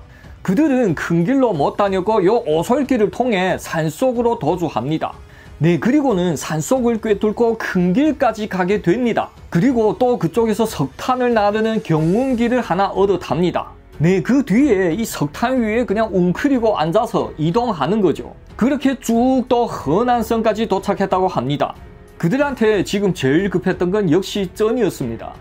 은행 강도하는 계획은 뒤로 잠시 미루고는 이 코앞에 불부터 끄고 봐야 했죠. 이어 그들은 그냥 뭐 가정집이고 학교고 그냥 가리지 않고 그냥 마구 도적질합니다. 그렇게 그 두 명은 각자 나뉘어서 작업하니 금방 또 몇천 위엔을 챙기게 되었답니다. 네, 그리고는 또 필요한 건 차량이었죠. 왕앤칭의 모든 안건들은 거의 다 이렇게 비슷했습니다. 차량을 빼앗고 또 사람을 죽이고 또 다른데 도둑질하고 금고를 털고 다 그냥 그렇게 진행되었죠. 네, 그 GTA 게임이랑 똑같았죠. 조금 다른 점은 얘네 현실 속의 GTA 게임은 이 경찰들이 바로바로 바로 찾지도 못하니 더욱 그냥 기막힌 게임 환경이 이루어지게 되는 겁니다. 이젠 경찰까지 죽였기에 자신들이 좋은 날짜가 이 얼마 안 남은 걸 알았던지 그 수단과 방법은 더욱 노골적으로 더욱 잔인해집니다. 네, 한참을 기다리자 멀리서 트럭 한 대가 오고 있습니다. 그 둘은 트럭을 가로막으며 우수왕씨야 우리 이래 주구나 저래 주구나 마찬가지다. 이제부터 시원시원하게 하는 거다. 들었니? 좀 다 차를 세우면 내가 조수석에 애를 처리할 테니 너가 그 운전석에 애를 처리해라. 네, 이어 트럭은 그들 앞에 멈춰섰고 조수석이 사람은 그뭔 일이요? 라고 묻습니다. 왕현칭은 그냥 아무 말 없이 조수석 차문을 열고는 팡 하고 쏴서 죽입니다. 이제 뭐 쓸데없는 얘기를 짓거리기도 싫었던 거죠. 네, 하지만 운전석 쪽은 아직도 조용합니다. 왕예칭은 조수석이 시체를 이 차 밖으로 내다 버리고는 또 운전석 기사를 밧줄로 꽁꽁 묶습니다. 그리고는 출발합니다. 네, 시체는 그냥 그렇게 길바닥에 버려졌고 지나가는 다른 차량에 의해 금방 발견되게 됩니다. 이제 왕현칭은 이렇게 그냥 막 나갔습니다. 왕현칭은 운전하면서 생각합니다. 우수왕씨 이거 임마 단단히 교육 좀 시켜야 되겠구나. 라고요. 네, 이어 또한 인적이 드문 이 산속으로 올라가서 얘기합니다. 우수왕 씨야, 두 눈 똑바로 뜨고 내가 하는 거 잘 봐라. 왕延칭은 우수왕 씨한테 주먹을 쓰고 이 발차기를 쓰는 걸 배워줍니다. 어디다요? 네, 그 포로가 된 운전기사를 상대로요. 그리고는 우수왕 씨를 보고 한번 해보라고 합니다. 이어 우수왕 씨가 주먹을 몇 번 날리자 그러자 왕앤칭은 테이프로 그 기사의 입과 코를 막고는 또 조금만 숨이 통하게 남겨놨다고 합니다. 야 더 해봐. 그렇게 해서 목숨이 끊어지겠니? 어디 한번 제대로 해봐. 우수왕 씨는 왕앤칭의 말을 거역할 수가 없었습니다. 그는 드디어 도옥을 품고 이 발기지를 마구 날립니다. 네 그렇게 그 운전기사는 맞아 죽었다고 합니다. 이젠 점점 더 잔인해지죠. 네, 그리고는 그 시체를 그냥 그렇게 놔두고는 트럭을 타고 떠났답니다. 그들은 운전하여 이 시내로는 못 들어가고 변경지대로 갔답니다. 이 운전하던 도중에 그곳에서 한 쓰레기 수거소를 발견합니다. 네, 이런 곳은 전에 없어서 못 털었지 제일로 그냥 짭짤한 곳이었죠.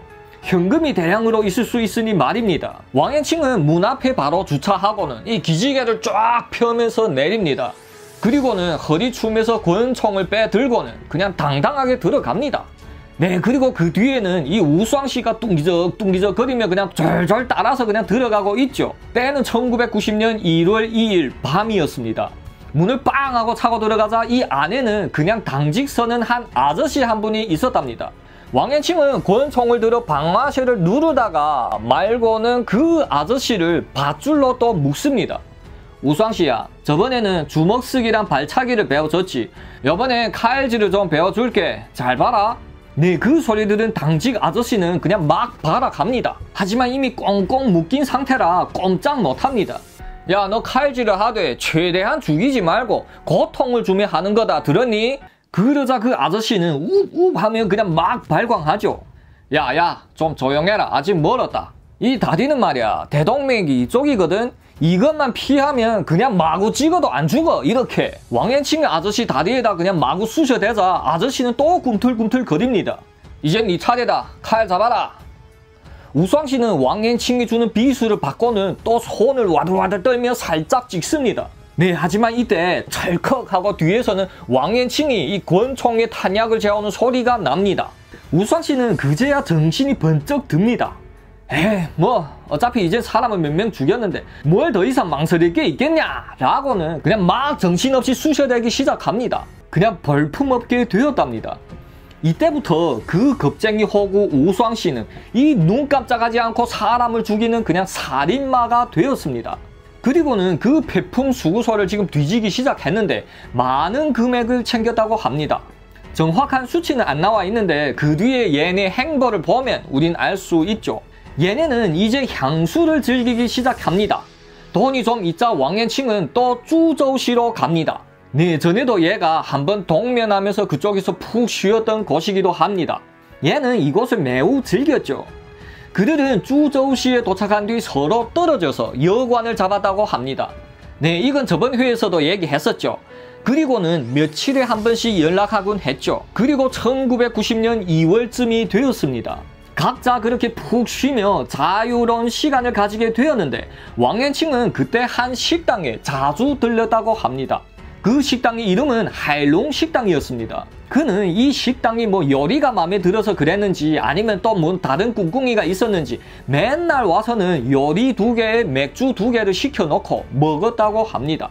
네, 사실 그 시대에는 음식점에 가서 요리를 시켜 먹는다는 건 지금 맨날 골프 치러 가는 것처럼 사치였답니다. 뭐 사업적인 비즈니스가 있어야 가서 요리를 시켜 먹었죠. 얘처럼 맨날 혼자 가서 요리 두 개, 맥주 두 개를 시켜 먹는 사람은 그 당시에 없었습니다. 그런 왕앤칭을 주의 깊게 바라보는 한 여자가 있었습니다. 이 여자는 이름이 짱셔옌이라고 불렀는데 바로 이 음식점이 사장 딸이었죠. 하루는 너무도 궁금해서 참지 못하고 이 찾아가 물었답니다. 아저씨 뭐 하는 사람이에요? 네, 왕앤칭은 짱쇼옌을 보자 젓가락을 놓고는 얘기합니다. 나? 비밀 특수 요원이다. 야, 앉아라. 오빠랑 한잔 하자. 네, 사실 이 정쇼옌은 65년생으로 당시 25살이었습니다. 왕앤칭보다 한 살 더 많았죠. 비밀 특수 요원이라고? 그건 뭘 하는 사람인데? 정쇼옌은 더욱 호기심이 발동하여 왕앤칭 곁에 앉습니다. 그럼 그 비밀 특수 요원이면 아주 특수한 사람이겠네? 당연하지. 만 명 중에 그냥 한 내 나올까 말까 하다. 사실 이 말은 틀리지 않았죠. 이런 악마는 만 명이 아니라 백만 명 중에서도 한 명이 나오기 힘들죠. 그리고는 정샤오옌과 왕앤칭은 이 술 한잔하면서 웃음꽃을 피웠답니다.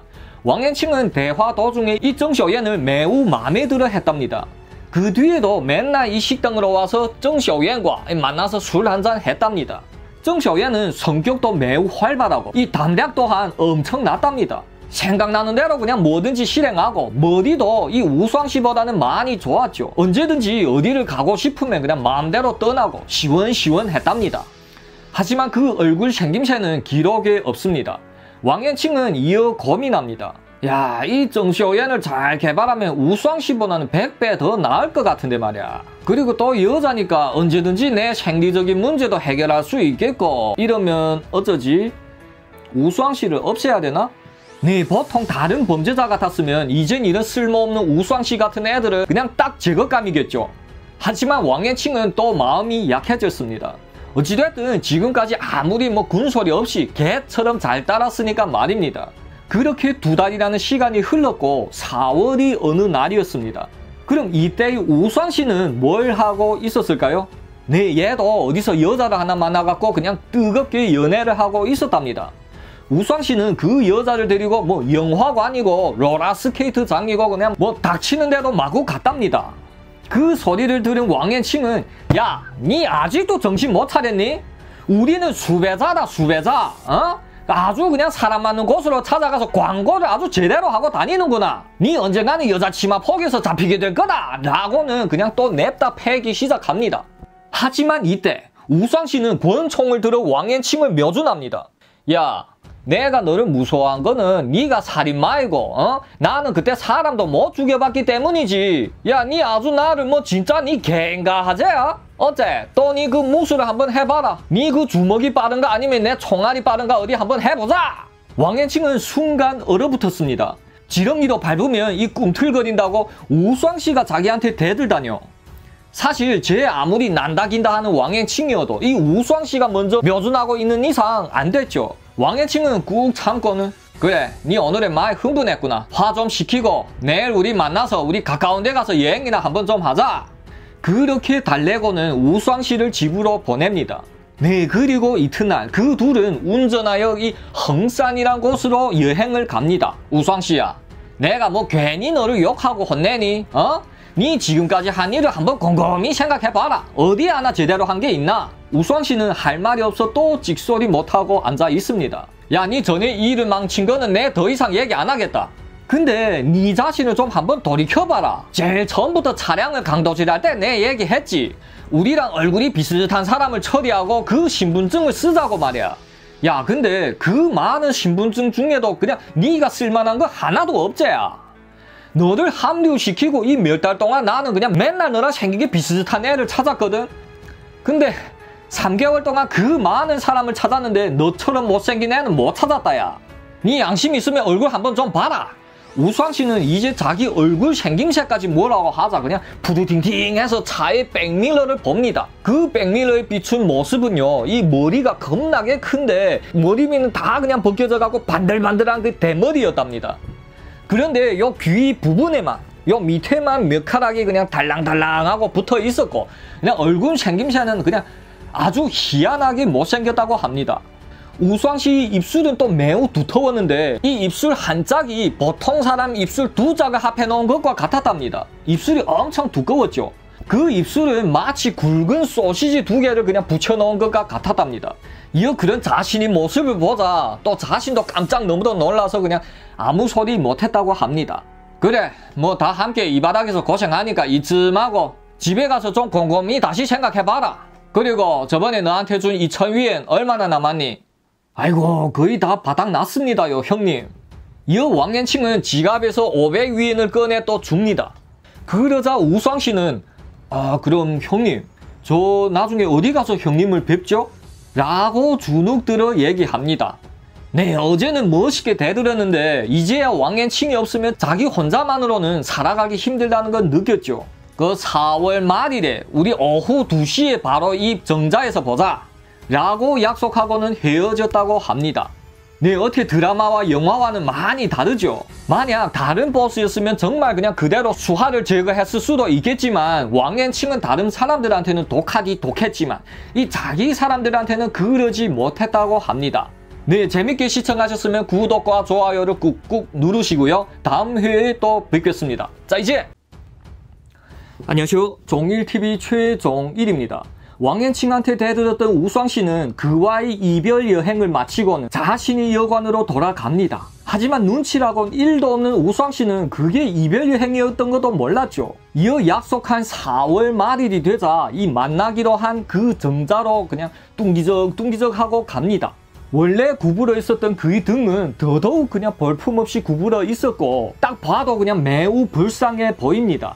어깨가 그냥 축 처져 내린 우수왕 씨는 공원 벤치에 그냥 쭈그리고 앉아서 이미 다 타들어간 담배를 물고는 한숨을 그냥 풀풀 내쉽니다. 사실 우수왕 씨는 자신을 이 돌이킬 수 없는 이 길로 들어서게 한 왕앤칭을 원망하고 또 원망합니다. 만약 왕앤칭이 아니었다면 지금쯤이면 뭐 비록 돈은 없어도 이 쫓기지도 않고 편안하게 그냥 살 수 있을 거 아닙니까? 하지만 이젠 일이 이렇게까지 된 이상 혼자서는 진짜 힘들다는 걸 느꼈죠. 하지만 이때 그 모든 걸 그냥 키득키득거리며 멀리서 바라보는 한 남자가 있습니다.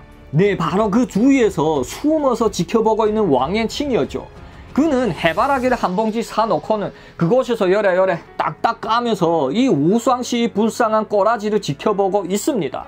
네, 그리고는 그렇게 한 시간 동안 해바라기는 다 깠는데 이 우수왕 씨는 아직도 그 벤치에 앉아 그냥 멀뚱멀뚱 자기를 기다리고 있었답니다. 우수왕 씨야, 잘 먹고 잘 살아라. 형은 이제 간다. 왕년칭은 멀리서 이 우수왕 씨 등 뒤에 대고 인사하고 이 아프던 이를 뺀 것 마냥 시원하게 돌아섭니다. 이제 왕년칭은 자신이 새로운 파트너 정쇼옌을 데리러 갑니다. 야, 애기야 가자. 오빠랑 여행이나 가지 뭐. 그 둘은 계림으로 갔답니다. 애기야 이 여관에서 잠깐 기다려봐 오빠가 가서 좋은 걸 가져다 줄게 왕앤칭은 그렇게 정쇼엔을 혼자 여관에 놔둔 후 기림 라텍스 공장으로 갔답니다. 그리고는 그 안에서 그냥 아예 제 집인 듯 그냥 들어가서 돈을 쓸어 담는 거죠. 이젠 그 어떤 자물쇠나 금고도 그를 막을 순 없었습니다. 그는 회계실과 몇 개 사무실에 들어가서 그냥 싹 다 뒤집니다. 돈과 국채들을 그냥 싹 다 쓸어 담았고 그 중에는 또 달러까지 있었답니다. 그리고 이번 수입은 상상을 초월하게 달달했대요. 7천여 위엔을 도둑질하고 여관에 들어와 이 정쇼엔 앞에 확 던집니다. 애기야 오다 주었다. 그 돈을 보자 정쇼엔은 그냥 눈이 막 뒤집힙니다. 아이고 엄마야 이게 대체 얼마야? 우리 식당 1년 꼬박 해봤자 매출이 5천 위엔도 안 되는데 이 많은 돈 대체 어디서 난 거야? 정쇼에는 경탄을 금치 못합니다. 어 사실 나 산시 제왕 왕옌칭이다. 지금까지 말 못해서 미안하다. 정쇼예는 그 소리를 듣자 왠지 알지 못하는 그런 표정을 지었답니다. 네, 이미 그 시기에 전국적으로 이름을 날린 왕앤칭이었기에 평소에도 그 이름을 자주 들어서 알고 있었죠. 그 유명한 사람이 눈앞에 있으니 희한하기도 했겠지만 또 엄청난 살인마였기에 두렵기도 했겠죠. 하지만 이미 4개월 동안 함께한 정시어예는 왕앤칭을 사랑하게 되었으며 받아들일 수밖에 없었답니다. 이어 왕앤칭은 이젠 정시오엔이 마음을 확인하고는 그 자신이 말도 안 되는 허황한 계획을 얘기합니다. 애기야, 범은 태어나서 가족을 남기고 사람은 태어나서 이름을 남겨야 한다. 난 꿈이 하나 있다. 한 방에 전 중국은 물론이고 전 세계의 이름을 날려야 되겠다. 네, 보통 이런 말을 들으면 그런 보통 여자들은 이런 말도 안 되는 놈을 피하기 마련일 텐데 정시오야는 아주 그냥 흥미진진하게 물었답니다. 어떻게 하면 전 세계의 이름을 날리겠냐고요. 야, 니 그거 아니? 올해 9월에 이 북경에서 아시안 게임을 개최하거든. 그때는 중국의 많은 거관들도 있겠지만 전 세계에서도 다 지켜볼 거다. 내가 말이야 그곳을 폭파시켜버리겠다. 그럼 내 이름이 전 아시아권에서 날리게 아야. 그러면 전 아시아의 그 망명자들이 나한테 올 거다. 그럼 그때 가서 우리는 전 중국을 주름 잡는 흑사회 조직으로 발전하는 거다. 어떠야? 왕앤칭이 이 말을 듣고 짱쇼예는 매우 흥분하며 지지한다고 했답니다. 네, 여기서 우리도 알 수 있다시피 이 정쇼옌도 좀 정상적인 사람이 아님을 알 수 있습니다. 그 모든 걸 왕앤칭은 딱 봤으니까 얘를 선택한 거였죠. 그 둘은 뭐 술김에 한 헛소리도 아니고 뭐 장난삼아 얘기한 것도 아니었습니다. 왕앤칭은 이미 그 모든 계획이 다 끝난 상태였습니다. 바로 그 이튿날부터 그 둘은 특훈에 들어갑니다. 왕앤칭은 비록 육사 권총 한 자루를 갖고 있었지만 사격 능력은 아직은 우수하지 않았죠. 이참에 정시오엔과 함께 이 공기총 사격 연습장으로 갔답니다. 그 둘은 거기에서 그냥 아침부터 저녁까지 쭉 그곳에서 붙어 있으며 한시도 떨어지지 않고 연습을 했다고 합니다. 왕앤칭은 원래 날아다니는 애인데 이 사격 능력까지 제대로 맞추면 거의 뭐 완벽에 가깝게 되겠죠. 그런데 정시오엔도 매우 흥취를 가지며 이 왕앤칭보다 사격 쪽에서는 더 잘했다고 합니다. 그렇게 한 주 동안 빡세게 연습하자 드디어 거의 때가 되었음을 느낍니다. 그 둘은 이어 출발은 하지만 뭐 너무 급하지는 않았고 조금 가다가 한 도시에 도착하면 그쪽에서 뭐 도둑질을 하고 또 그 돈으로 구경 다니면서 즐겼다고 합니다. 네 그리고는 또 다른 지역으로 출발하며 북경으로 가고 있는 거죠. 9월까지는 아직 몇 개월이나 시간이 남았으니까 아직 즐길 시간은 충분했습니다. 네, 하지만 그들이 후베이선까지 오게 되자 이 문제가 생깁니다. 왕앤칭이야 뭐 체력이 워낙 좋아서 아무 일 없겠지만 정쇼예는 아닙니다. 맨날 돌아다니니 이 체력이 못 따라가 몸살을 앓게 되었답니다. 뭐 큰 문제는 아니었지만 그래도 이제껏 왕앤칭이 그 견지해오던 한 가지 습관이 문제였습니다. 네, 바로 전에도 제가 몇 번 얘기를 드렸던 밤의 잠자리 문제였습니다. 왕앤칭은 그때까지 그 누구와도 밤에 한 여관에서 안 보냈죠. 그것은 정쇼엔과도 마찬가지였습니다. 안전을 위하여 이 볼일이 있으면 낮에 보고는 밤에는 무조건 다른 두 여관에서 이 각자 잠자게 되었답니다. 하지만 정쇼엔은 열이 막 올라서 힘들어하고 있는데 그런 정쇼엔을 두고 혼자서 다른 여관에 가기는 좀 그랬겠죠. 왕앤칭은 깊은 고민 끝에 아, 딱 하루만 자신이 원칙을 깨고 정시오엔 곁에서 돌봐주려고 마음 먹습니다. 에이, 설마요 딱 하루 때문에 문제가 생기겠냐고 생각하겠지만 그 설마가 사람을 잡았답니다. 어떨 때는 현실이 꼭 그 영화나 드라마처럼 그렇게도 우연하게 맞아 떨어집니다. 때는 1990년 5월 30일 새벽 2시쯤이었습니다. 정쇼예는 이미 열이 좀 내렸고 자고 있었고 왕앤칭도 깊은 잠에 빠졌답니다. 하지만 이때 그들이 여관 앞에는 어두운 그림자 다섯 개가 나타납니다. 중국은 그때 아시안 게임이 금방이잖아요. 그런 국가 대행사 안전을 위하여 이 중국에서는 조금이라도 문제가 있는 놈들은 그냥 싹쓸이로 잡아둡니다. 사실 중국의 많은 범죄자들은 이런 나라에서 크게 치러지는 대행사 직전에 많이들 잡힌다고 합니다. 그 잡는 사람들도 경찰들도 있었지만 많은 곳에서는 이 인력이 부족하여 자발적으로 이 긴급 소집된 사람들이 집행하는 곳도 많았답니다. 왕앤칭이 있었던 이곳이 바로 그러했죠. 이 다섯 명은 당시 여관협회의 사람이었답니다. 이 여관들에서 뭐 혹시 불법적인 일들이 발생하지 않나 이렇게 확인하는 거죠.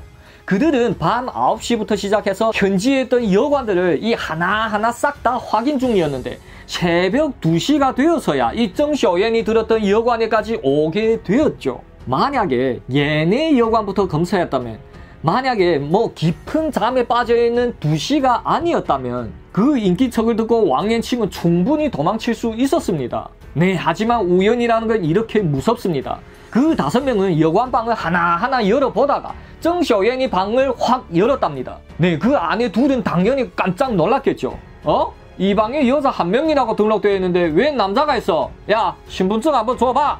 네, 이것들은 지금 여자 혼자 자고 있는 방도 그냥 지들 맘대로 마구 여네요.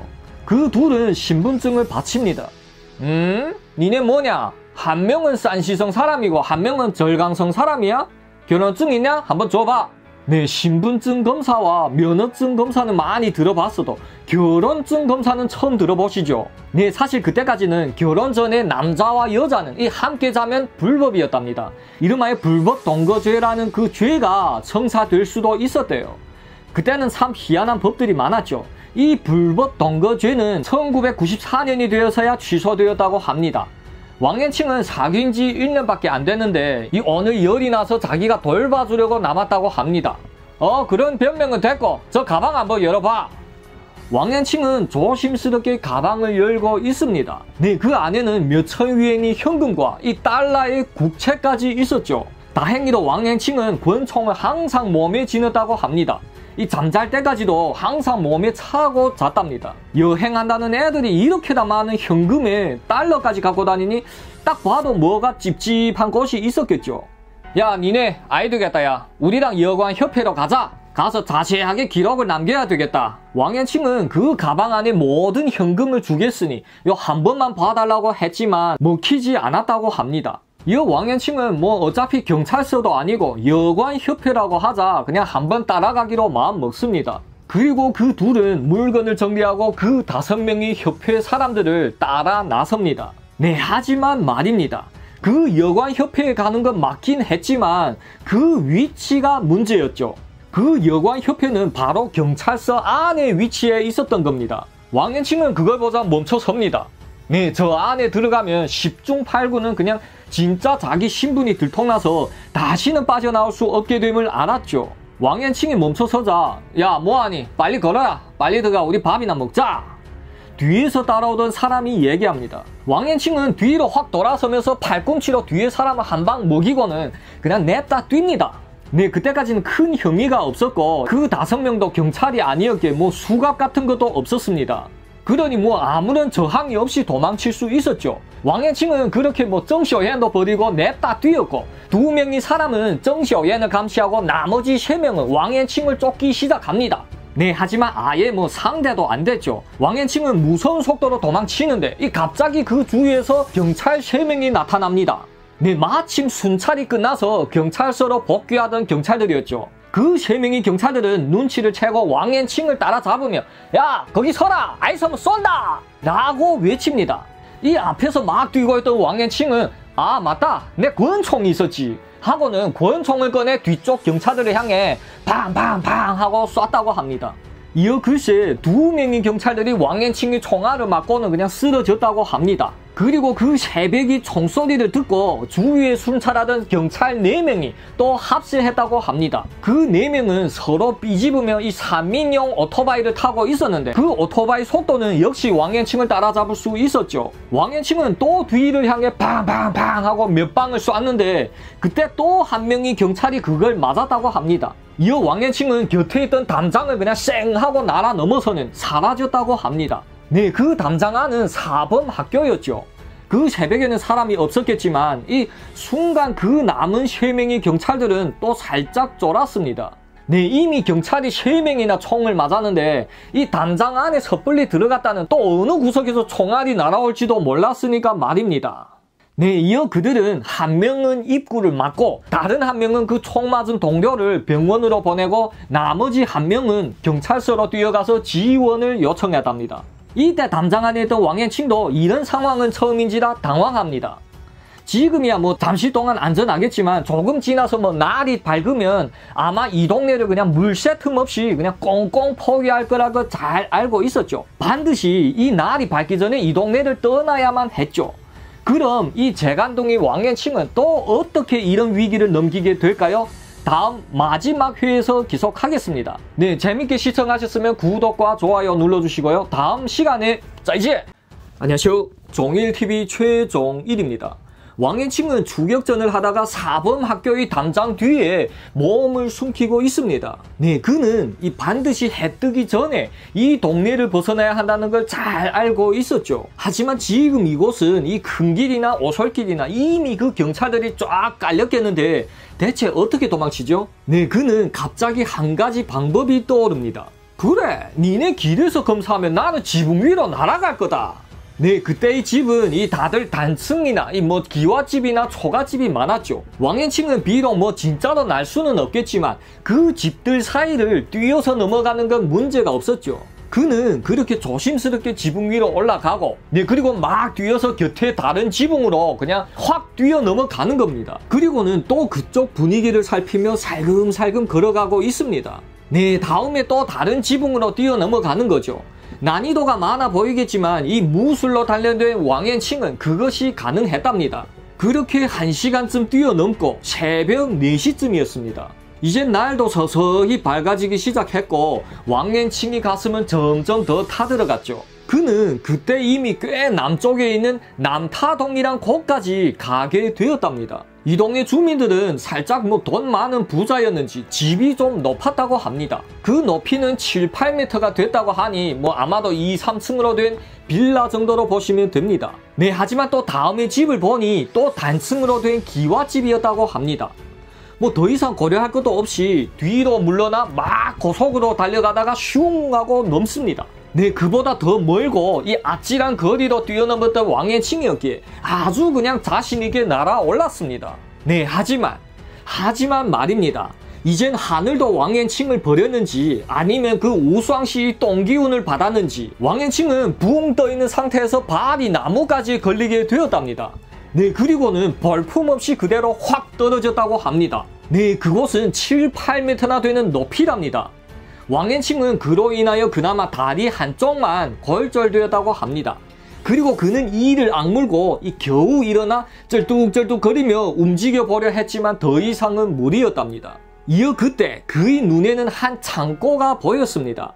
네, 바로 이 사진 속의 창고이고 이 담장이죠. 왕앤칭은 그 쩔뚝거리는 다리를 끌고는 거의 2미터나 되는 이 담장을 넘어 안에 숨어 있었다고 합니다. 네, 그리고는 그 담장 안에서 숨을 죽이고는 30시간을 보냈다고 합니다. 밥은 한 끼도 못 먹었는데 때마침 폭우가 쏟아져 뭐 빗물은 좀 마실 수 있었겠네요. 하지만 대신 온몸이 흠뻑 젖어서 온 하루 있어야만 했죠. 왕앤칭은 그때 그 쏴 하고 내리는 빗줄기를 맞으며 과연 무슨 생각을 하고 있었을까요? 이어 그렇게 굶주리고 온몸이 푹 젖어서 그냥 추운 환경에서 30시간을 보내고 새벽 1시쯤이 됩니다. 이젠 경찰들이 수사도 느슨해졌을 거라고 생각하고는 그는 움직이기 시작합니다. 왕앤칭은 또 이를 악물고 그 담장을 넘고는 이 쩔뚝쩔뚝거리며 겨우 걸어가고 있습니다. 이어 그는 택시 하나를 잡아 타고는 30km 떨어진 桂양현으로 가자고 합니다. 택시기사는 흔쾌히 오케이 했고 그렇게 뭐 별 문제 없이 잘 가고 있습니다. 네, 하지만 얼마 지나지 않자 저 앞에는 경찰들이 이 오는 차량들을 하나하나 다 검문하고 있습니다. 왕앤칭은 이미 그 모든 걸 다 예상했었죠. 이런 시기에 뭐 아예 검문이 없다는 건 말이 안 됐죠. 택시는 그들 앞에 섰고 택시기사는 밖에 나옵니다. 네, 그리고는 경찰들한테 담배도 권하고 여러 뭐 자격증들을 보여줍니다. 네, 중국에서는 이 보통 남자들끼리 인사할 때는 이 담배 한 대를 건네주고는 불을 붙여줍니다. 네, 그리고 그 경찰은 이 택시기사를 보고 어디 가냐고 물었고 택시기사는 桂양으로 가는 중이라고 대답합니다. 경찰은 이어 그 담배를 물고는 조수석으로 쓱 다가갑니다. 야, 내 경찰이다. 신분증 내놔라. 어디 가는 길이야? 네, 솔직히 그때는 경찰들이 엄청 뭐 세녀했어요. 갑질했어요. 왕앤칭은 컨디션이 너무 안 좋았는지 꿀양으로 가는 걸 까먹고 꿀린으로 간다고 대답했답니다. 뭐? 꾸일린으로 간다고? 택시기사는 꾸이 양으로 간다던데? 뭔 소리야? 네 신분증 번호 한번 불러봐라. 네, 중국이 신분증 번호는 18개의 숫자로 구성되어 있습니다. 외우기도 참 어렵죠. 하지만 자신이 신분증은 보통 다들 기억하고 있습니다. 왕앤칭은 그때 몸에 신분증이 6개나 갖고 있었으니 우물쭈물 했답니다. 야, 아이 되겠다. 아저씨, 한번 내려봐. 네, 이후 모든 게 잘못되었음을 느낀 왕앤칭은 주머니에 손을 넣어서 권총을 잡으며 내립니다. 네, 하지만 그 다친 다리를 생각 못하고 그 다친 다리 때문에 쿵 하고 넘어지게 됩니다. 네, 그렇게 넘어지면서 그의 손에 있던 권총이 드러나게 되죠. 그걸 본 경찰은 총을 빼려고 노력했지만 이미 늦었습니다. 팡 하는 소리와 함께 경찰은 쓰러집니다. 이어 그 주위에서 망을 보고 있었던 경찰 4명이 우르르 몰려옵니다. 팡팡팡 네 이제 뭐 2판 4판이라고 생각한 왕의 칭은 오는 족족 그냥 쏴서 쓸어드립니다. 그 4명 중 2명은 총알을 맞았고 다른 2명은 왕의 칭이 권총을 딱 잡고는 팔을 물었다고 합니다. 아이 아프다. 야 니네 어좀 물어버린다 이거니? 나도 이빨 있다 이놈들아. 왕의칭은 다리 때문에 이러는 못 나고 이 주먹과 이빨로 그 두 명을 제압했다고 합니다. 하지만 이때 검문소에서 이 도시락을 까먹고 있던 여섯 명의 경찰들이 막 합세해서 총 여덟 명이서 이 다리도 못 쓰는 왕의 친구와 뭐 뒤엉켜서 사투를 벌입니다. 네, 그렇게 20분 동안 사투를 벌인 끝에 겨우 제압했다고 합니다. 어마어마했죠. 네, 그 중에 한 경찰은 손가락 두 개가 물려서 그냥 하마터면 끊어질 정도까지 됐고, 뭐 또 코뼈가 부러진 사람도 있었고, 뭐 여러 가지 부상도 많았다고 합니다. 이렇게 80년대 화북을 날아다니던 산시 도적왕 왕앤칭은 드디어 잡힙니다. 그 잡힌 직후의 사진은 바로 이겁니다. 저 머리가 좀 길었을 때의 사진은 탈옥하기 전에 이 감옥에 잡혀 들어갈 때의 사진이죠. 왕앤칭은 경찰서 앞에서 도망칠 때부터 이 잡힐 때까지 총 6명을 총으로 쏴서 쓰러뜨렸죠. 하지만 그 6명은 목숨을 잃은 사람은 없었답니다. 왕앤칭이 다른 건 다 잘해도 사격은 역시 별로인 것 같습니다. 이어 경찰 측은 왕앤칭을 신문하자 모든 일을 그냥 시원시원하게 불었답니다. 뭐? 행정기관에 있었던 그 저외선 경보 근거를 네가 딴 거라고? 야, 이 헛소리치고 자빠졌네. 야, 그거 밖에서 아무 흔적도 없이 열고 비밀번호까지 바꿨다고? 말도 안 되는 소리 하지 말라 임마. 네, 이러면 또 왕앤칭이 그 자부심에 스크래치를 내게 된 거죠. 야, 니네 내 말 아이 믿니? 그 금고를 그대로 내 앞에 한번 갖고 와봐. 그리고 기자들 많이 불러라. 내 어차피 총살 맞을 건데 그 금고들이 허점들을 다 알려주지. 네, 이어 정말로 왕앤칭 말대로 그냥 금고를 준비하고 이 기자들과 금고를 생산한 그 관계자들도 다 모였다고 합니다. 왕앤칭은 그 수많은 사람들 앞에서 그냥 아주 익숙한 설널림으로 적외선 경보를 끕니다. 네, 그리고는 손이 감각과 이 소리만으로 그냥 철컥하고 금고를 열게 되는 겁니다. 네, 그리고 금고 비밀번호를 바꿔놓고는 다시 철컥하고 닫았다고 합니다. 그 시간은 10분도 안 걸렸죠. 그 모든 걸 멍해서 쳐다보고 있는 금고 업체들 보고 야 니들이 아무리 금고를 뭐 탄탄하게 만들어도 이 세상에는 못따는 금고가 있을 수가 없다. 라는 말을 남겼다고 합니다. 이어 그 적외선 경보 금고를 구입했었던 업체들은 다들 그냥 환불 요청을 했고 아주 그냥 난리가 났었다고 합니다. 네, 하지만 이건 제 생각인데요. 솔직히 그건 왕년 칭이었기에 가능한 거였고 이런 놈은 아마 100년에 한 명이나 그냥 나올까 말까 하겠죠. 뭐 그걸 갖고 그리 걱정할 필요가 있겠습니까? 왕년칭은 범죄 사실은 시원시원하게 다 얘기했지만 그 죽은 자들을 묻어놓은 곳은 입을 꾹 다물고 얘기 안 합니다. 네, 16명 중에 그 몇 명은 불에 태우고 뭐 그냥 냅다 버리고 했는데 묻어둔 몇 구의 시체 위치를 알겠으면 나도 뭐 사소한 요구가 있다 이겁니다. 맨날 요리 다섯 개, 좋은 술, 좋은 담배를 달라 이거죠. 네, 그리고는 맨날 잘 먹고 잘 마시다가 이 기분 좋으면 그한 곳이 알려줬다고 합니다. 네, 왕앤칭이 이렇게 시간을 끌 수 있었던 건 다른 원인도 하나 있습니다. 얘는 아마 이번 시즌에서 왕앤칭 못지않게 우리 여러분한테 크나큰 재미를 갖다 줬다고 생각하는데 바로 우수왕 씨입니다. 우수왕 씨는 지금껏 왕앤칭을 따라다니며 두 명을 죽였잖아요. 네, 발차기 연습할 때 한 번, 칼질을 연습할 때 또 한 번, 그 두 번이 살인은 마무리를 얘가 한 거였습니다. 우수왕 씨는 그때까지 안 잡혔으니까 이 우수왕 씨까지 잡고 왕앤칭을 사형해야만 했습니다. 그럼 우리 이 불쌍한 우수왕 씨는 이제껏 어떻게 지내왔냐 우리 한번 보겠습니다. 그때 공원 벤치에 앉아서 그냥 한숨을 풀풀 내쉬며 왕년칭을 기다리던 우수왕 씨는 해가 저물어서야 여관으로 돌아갔다고 합니다. 네, 우수왕 씨는 이제 뭘 어떻게 해야 될지 몰라서 그냥 온 하루 그냥 집에서 생각했답니다. 하지만 끝내는 아무 계획 없이 그냥 고향이 산시로 돌아가게 됩니다. 네, 그는 산시에서 돈을 좀 빌려서 먼저 생활하려고 했는데 빌리려는 돈은 못 빌렸고 제일 친하다고 여겼던 지인한테 신고를 받았답니다. 그리고는 또 한 발자국 차이로 아짜아짜하게 잡히지 않고 도망쳤다고 합니다. 네, 겨우 도망쳐 나온 우수왕 씨는 옆집에서 자전거 하나를 도둑질하고는 그걸 타고 얼마나 그냥 달리고 달렸는지 몰랐다고 합니다. 밤을 새며 그냥 달리고 달리다가 찐정이란 곳에 도착했답니다. 우수왕 씨는 이때부터 좀 맛이 갔던지 이상한 행보를 보이기 시작합니다. 얘는 그쪽에서 버스를 타고 그냥 무작정 종점까지 갔다고 합니다. 네, 그리고 그 종점에 도착하고는 다시 그 버스를 타고 원래 있었던 공수로 돌아갔답니다. 그렇게 맨날 그냥 버스를 타고 달렸다고 합니다. 네, 이렇게 시간을 보내다가 돈이 떨어지면 살림집에 이 가만히 들어가서 도둑질을 하는 거죠. 하지만 운수가 똥이었던 우상 씨는 터는 집마다 그냥 돈이 많지 않아서 여관비는 둘째치고 입에 풀칠하기도 버거웠답니다. 그는 낮에는 그냥 뭐 대충 알아서 먹고는 밤에는 거지들 속에서 신문지를 덮고 잠을 잤다고 합니다. 그렇게 한 달을 버티다가 도저히 안 되겠다 싶었답니다. 너무도 힘들고 배고팠겠죠. 이어 우수왕 씨는 이를 악물고 결심합니다. 어차피 이렇게 된 이상 내 혼자 강도질 해보자! 왕년칭이 못한 강도를 내가 하면 내가 한 수 위겠네? 라고 지 혼자 생각하고도 지 혼자 흐뭇해합니다. 이튿날 우수왕 씨는 자전거를 타고 이 밖에서 목표를 노립니다. 이어 그는 한 2력 3륜차에 앉아가는 두 명이 20대 초반으로 돼 보이는 남자를 찜합니다. 그 두 명은 옷도 뭐 잘 입은 것 같았고 왠지 부티가 났다고 합니다. 여런 피레미 녀석 두 명 해치우는 것은 뭐 시군주 먹기겠지 라고 생각합니다.